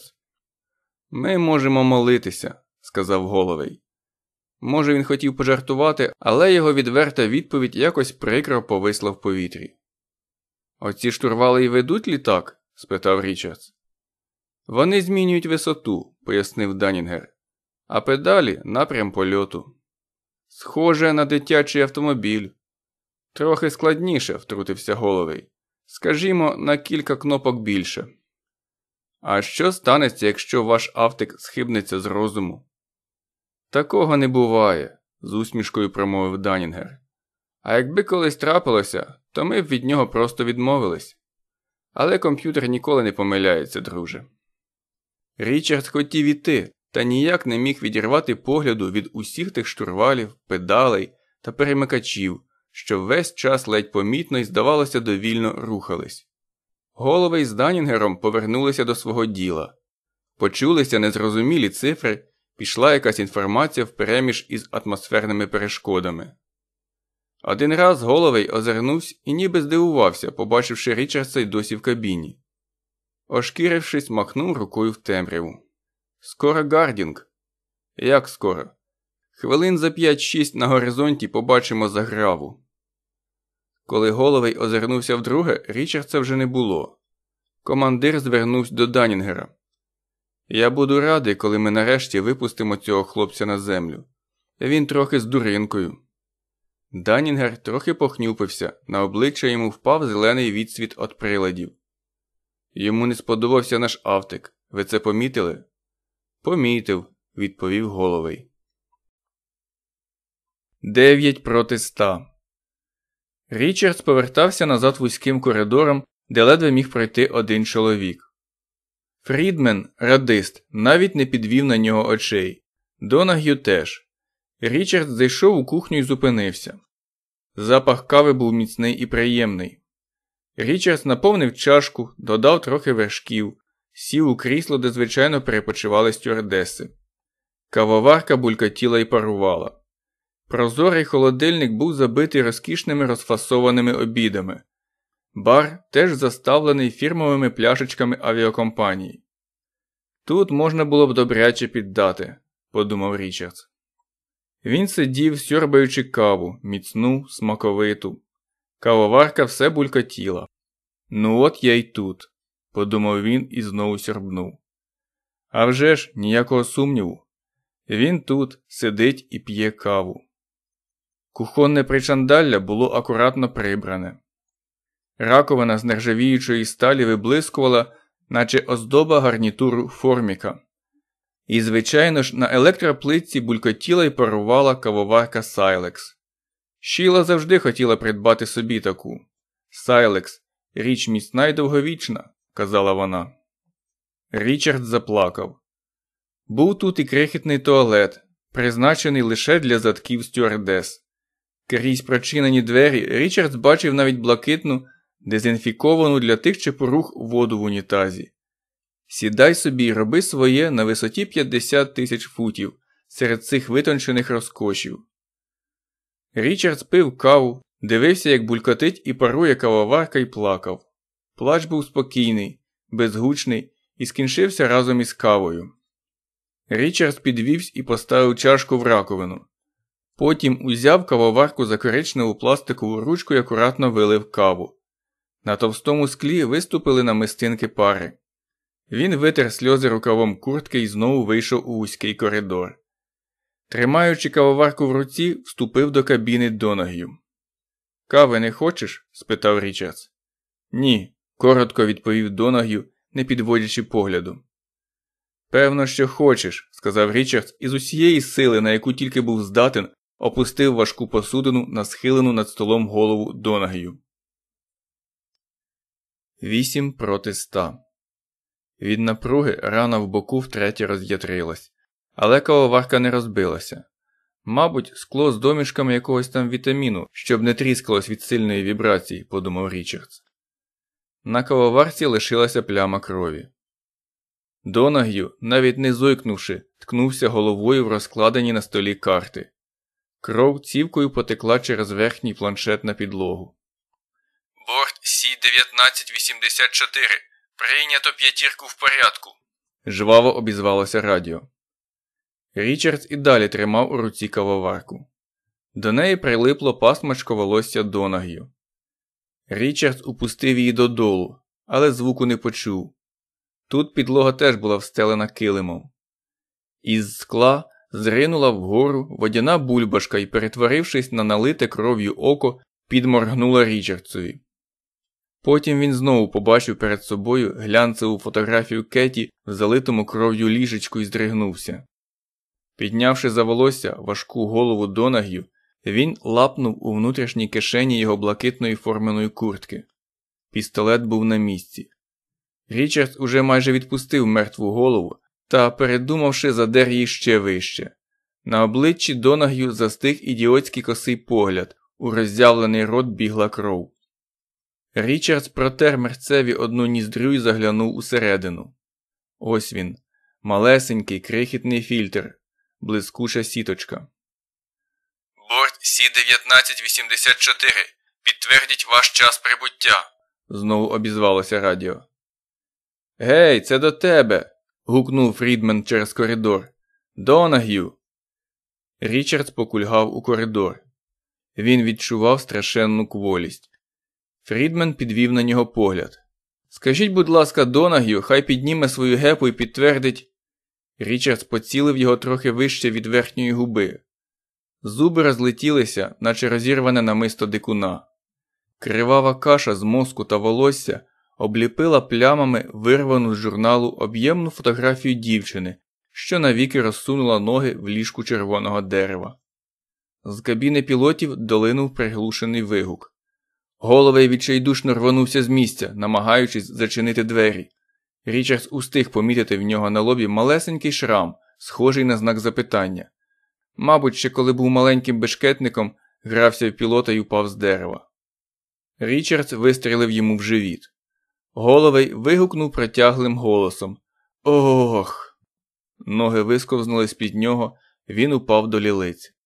Данінгер обернувся у кріслі з обрезклим, блідим, наче місяць обличчям.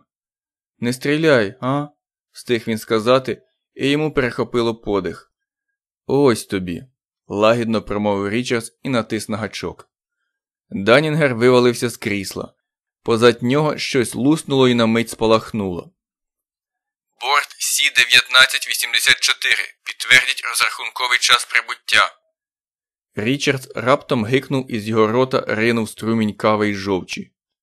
Від напруження рана в боку ще дужче роз'ятрилася, відгукнувшись нестерпним шпиганням. Річардс покульгав до пілотських крісел. Штурвали та важелі так само похитувалися, ковзали. Складний тандем працював безустанно. Як багато тут шкал і важелів. Чи є в них постійний зв'язок із землею? Адже політ незвичайний? Напевне, є. Підтверджую, наче в приватній розмові відповів Річардс. Борт Сі 1984. У вас там працює телевізор? У нас на прийомі якісь незрозумілі перешкоди. У вас усе гаразд? П'ятірка в порядку, відповів Річардс.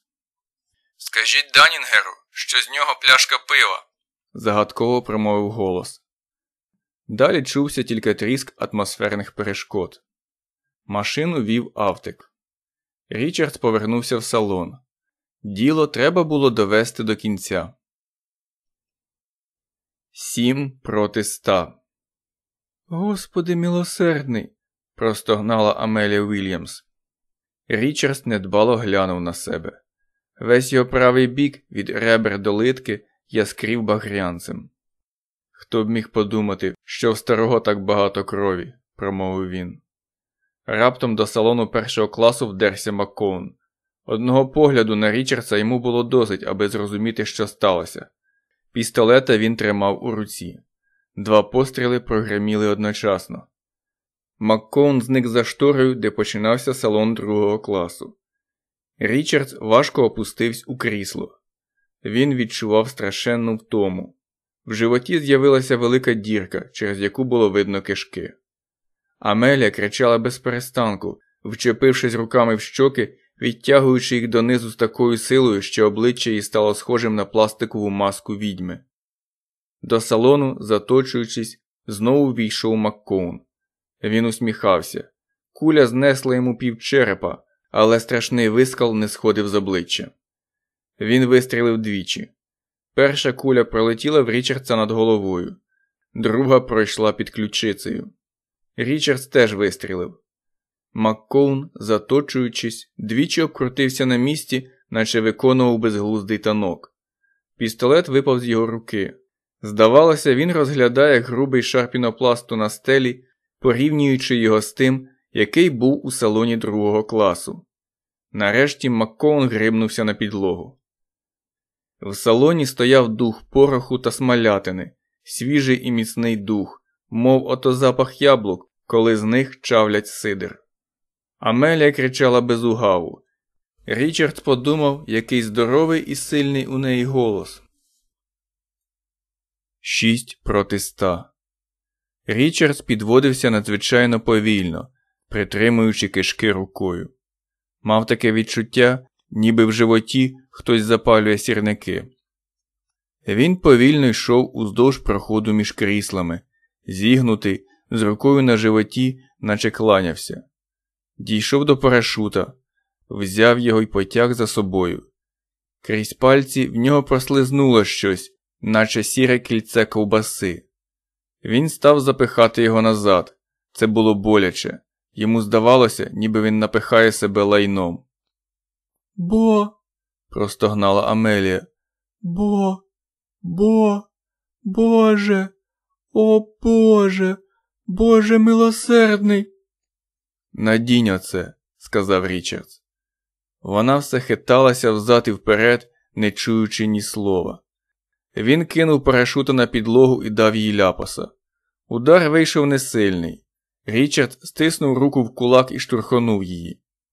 Жінка замовкла. Її очі безтямно витріщились на Річардса. Надінь оце, повторив він, як рюкзак, розумієш? Вона кивнула. Я не можу стрибати, бо юсь. Ми розіб'ємось. Ти мусиш вистрибнути. Ні. Гаразд, тоді я застрелю тебе. Жінка підхопилася з крісла, відштовхнула Річардса і кинулася хапливо надівати парашутну сумку, дико поводячи очима. Перебираючи лямки, вона відступила трохи від нього. Не так, ця йде під низ. Вона квапливо поправила лямку, весь час відступаючи від Річардса і водночас наближаючись до вбитого Маккоуна. Річард ішов за нею, з рота в нього капала кров. Тепер замкни карабін навколо живота. Пальці в неї тремтіли, Половинки замка з першого разу не з'єдналися, вона заплакала і весь час не спускала божевільного погляду з Річардса. Вступивши в калюжу крові, вона на мить затупцювала, потім переступила через тіло Маккоуна. Так вони пройшли салон другого класу. Тепер в животі Річардса замість сірників рівним полум'ям горіла запальничка. Запасні двері в салоні третього класу були закріплені розривними болтами і взяті на засувку, яку міг зняти тільки пілот. Річардс подав Амелі пістолета Донаг'ю. Стріляй по болтах, я не витримаю віддачі. Заплющившись і відвернувшись, вона двічі натисла на гачок. Більше патронів не було. Двері не ворухнулись. Річардса аж замлоїло з розпачу. Амеля Уільямс стояла, нервово посмикуючи за кільце витяжного троса. Може, почала Амелія, і тієї ж миті двері відлетіли в ніч, а вслід за ними полетіла й вона. П'ять проти ста. Зігнувшись, наче стара відьма, Річардс чіплявся за спинки крісел, переборюючи ураганний потік повітря й поволі віддаляючись від вирваних дверей. Якби вони летіли вище різниця в тиску була більша, його теж витягло б із літака. А так його лише дуже трусило, а нещасні кишки, розтягуючись, наче міхи акордеона, волочилися за ним по підлозі. Він відчув, як у салон рине нічне повітря, розріджене й морозне на висоті 2000 футів. Здавалося, на нього хтось хлюпнув крижаною водою. У животі замість запальнички вже палахкотів смолоскип. Салон другого класу залишився позаду. Стало трохи легше. Тяга повітря зменшилась. Він дійшов до розпростертого тіла Маккоуна. Переступіть, будь ласка, пройшов салон першого класу. Із рота в нього цівкою стікала кров. Річард зупинився перед входом до кухні і спробував зібрати кишки докупи. Він знав, їм не подобається, що їх випустили назовні, ані скілечки. Вони вже геть завозились. Йому хотілося заплакати по своїх нещасних, тендітних кишках, яким зовсім ні до чого була оця халепа. Річардс ніяк не міг позасовувати їх назад у живіт. Все було зрушено, все перемішалося. Перед його очима миготіли страхітливі картинки із шкільного підручника з біології. Поступово, уривками, він усвідомив істину, наближення власного кінця, і жалісно скрикнув із наповненим кров'ю ротом. Ніхто не відгукнувся. Всі в літаку були мертві, всі крім нього й Автика. Кров витікала з нього, і йому здавалося, що світ згасає. Зігнувшись, він прихилився до кухонної переділки, наче п'яний до ліхтарного стовпа. Все довкола примарно заколивалося, наче в сірому тумані. Ось воно. Я помираю. Річард закричав, і разом з нестерпним болем світ знову повернувся до нього. Ще ні, ще не час. Він кількома ручкими кроками перетнув кухню, обвішаний кишками нашим мотуззям. Важко було повірити, що там усередині їх так багато, таких круглих, прухких і так щільно вмощених. Річард наступив на самого себе, щось усередині потяглося. Біль спалахнув з неземною силою, і він заверещав, бризкаючи кров'ю на протилежну стінку. Тоді похитнувся і впав би, якби не переділка. Живіт. Мене поранено в живіт. Мозок дав божевільну відповідь клац, клац, клац. Він має зробити ще одну річ. Найважче, мабуть, помирати від черевної рани. Якось на роботі під час нічної перерви вони обговорювали, яка смерть найгірша. Це було ще коли він працював на General Atomics. Міцні, бадьорі, є і кров, і сеча, і сперма. Вони пожадливо жували сандвічі, сперечаючись, що краще померти від радіації, замерзнути, впасти і розбитися, бути забитим насмерть, потонути. Хтось згадав про смерть від пострілу у живіт. Гаррі, здається, отой гладкий, що пив самогон на роботі. Живіт болюче місце, сказав Гарріс. Це довго триває. І всі закивали схвально й поважно, ще не відаючи, що таке біль. Похитуючись, Річард сплентався вузеньким коридором, тримаючись обіруч за стіни, повз Донаг'ю, повз Фрідмена, якому він зробив таку радикальну стоматологічну операцію, Руки в Річардса вже почали терпнути, але біль у животі, там, де був його живіт, дедалі дужчав. І попри все це Річардс рухався, і його пошматоване тіло силкувалось виконувати накази божевільного Наполеона, що сидів у його черепі. Господи, невже це кінець, Ріко? Він ніколи не повірив би, що йому запам'яталося так багато передсмертних висловів. Здавалося, його мозок заглибився у себе і в оці останні гарячкові секунди пожирав сам себе. Ще одну річ. Він перечепився через розпростерте тіло голови і раптом відчув, що хоче спати. Подрімати. Так, це якраз те, що треба. Дуже важко підвестись. Автик мугикає, співає колискову хлопчикові в день його народження. Шш, шш. Овечка на лужку, корівка в кукурудзі. Річардс підвів голову. Яке страшне зусилля, наче вона сталева, чавунна, свинцева, і втупився у штурвали, що й далі погойдувались у своєму парному танці. Попереду, за плексигласовими вікнами, був Гардінг. Задалеко ще. Під копицею сіна він міцно спить. Чотири проти ста. Радіо куткудакало пронизливим стривоженим голосом. Борт Сі 1984. Відповідайте. Ви на дуже малій висоті. Як зрозуміли? Як зрозуміли? Чи переймати нам керування? Як зрозуміли? Як зрозуміли? Як. Іди ти. прошепотів Річардс. Він поповз до танцюючих штурвалів. Педалі ходили вниз угору. Ручки штурвалів сіпалися туди-сюди. Він закричав від пронизливого спалаху болю. Кишка зачепилася за підборіддя голови. Річард порачкував назад, вивільнив її, знову порачкував до штурвалів. Руки під ним підітнулися. Тіло на мить стало невагомим. Він лежав, уткнувшись носом у волохатий килим. Ледве зіп'явшись на руки, знову поповз. Звівшись на ноги, сяк так забрався в крісло головея. Еверест підкорено. Три проти ста. Ось він. Велетенський, масивний, підноситься серед ночі темним силуетом над рештою будинків. У місячному сяйві здавалося, ніби він відсвічує алебастром. Річард торкнувся штурвала. Підлога провалилася ліворуч. Його кинуло вбік, і він мало не випав із крісла. Тоді потяг за ручку. Знову надто сильно. Підлога провалилася праворуч. Горизонт танцював, як навіжений. Тепер педалі. Так, уже краще. Він обережно відштовхнув від себе штурвал. Стрілка на шкалі перед ним миттю перескочила з позначки 2000 на 1500. Річард легенько потяг штурвал на себе. Він дуже погано бачив. Праве око майже зовсім осліпло. Було дивно, що вони сліпнуть не одночасно. Він знову нахилив штурвал уперед. Тепер здавалося, що літак завис у невагомості.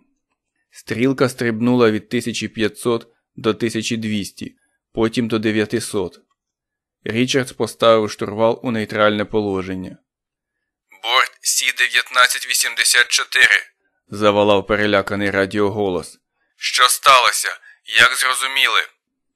Говори, хлопче, прохрипів Річардс. Гав, гав.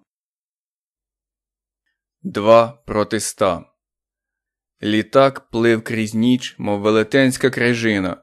Внизу гігантською поломаною картонною коробкою розпростерся південний район. Будинок розважальних телепрограм був зовсім близько. Один проти ста. Крилатий велетень з ревінням пролетів над каналом, наче його вела рука самого Господа Бога. Якийсь наркоман, стоячи в дверях, задер голову і йому здалося, що це галюцинація, його останнє наркотичне видіння, що зараз він вознесеться просто на небо, мабуть, у рай, який теж належить General Atomics з безплатними харчами та реакторами, що не забруднюють повітря. Ревіння моторів заганяло людей у під'їзди, їхні бліді обличчя визирали звідти, наче язички білого полум'я. Вітрини магазинів дзеленчали, уламки розбитих шиб осипалися всередину. Вулицями, мов кегельбановими доріжками, неслися, схожі на несамовито танцюючих дервішів, вихори сміття. Полісмен, кинувши свого кийка, обхопив руками голову і закричав, але не почув навіть власного голосу. Літак опустився ще нижче і нісся вже понад самими дахами, наче сріблястий кажан. Праве крило мало не зачепило висотний магазин зачарування, прослизнувши за якийсь десяток футів од нього. По всьому гардінгу екрани БТБ побіліли від інтенсивних електричних перешкод, і вражені люди втупилися в свої телевізори переляканими очманілими очима. Весь світ виповнився громом. Кіліан одірвав очі від столу і витріщився на широке на всю стіну вікно свого кабінету. Панорама міста, що мерехтіла морем вогнів, раптом зникла. Все вікно заповнив велетенський Локхід Трістар, який сунув просто на Кіліана. Кіліан устиг помітити миготливі вогні літака й на мить, божевільну мить безмежного подиву, жаху й невіри, побачив Річардса з утупленими в нього очима, закривавлене обличчя, чорні очі горять, мов у демона. Річардс усміхався моторошною усмішкою і показував йому стиснуту в кулак і зігнуту в лікті руку. Господи, тільки й устиг вимовити Кіліан. Нуль. Ледь нахилившись на одне крило, Локхід увігнався в будинок розважальних телепрограм. Баки літака були заповнені на добру чверть, швидкість перевищувала 500 миль на годину. Страхітливий вибух роздер темряву ночі, і вогняний дощ падав за 20 кварталів на всі боки. Кінець озвученої книги. Прочитано з оцифрованого тексту за виданням Переслідуваний. Переклад з англійської Віктора Ружицького 1991 рік. Всесвіт. Номери з 9 по 11. Дата озвучення 2 червня 2015 року. Озвучено для гуртом.ком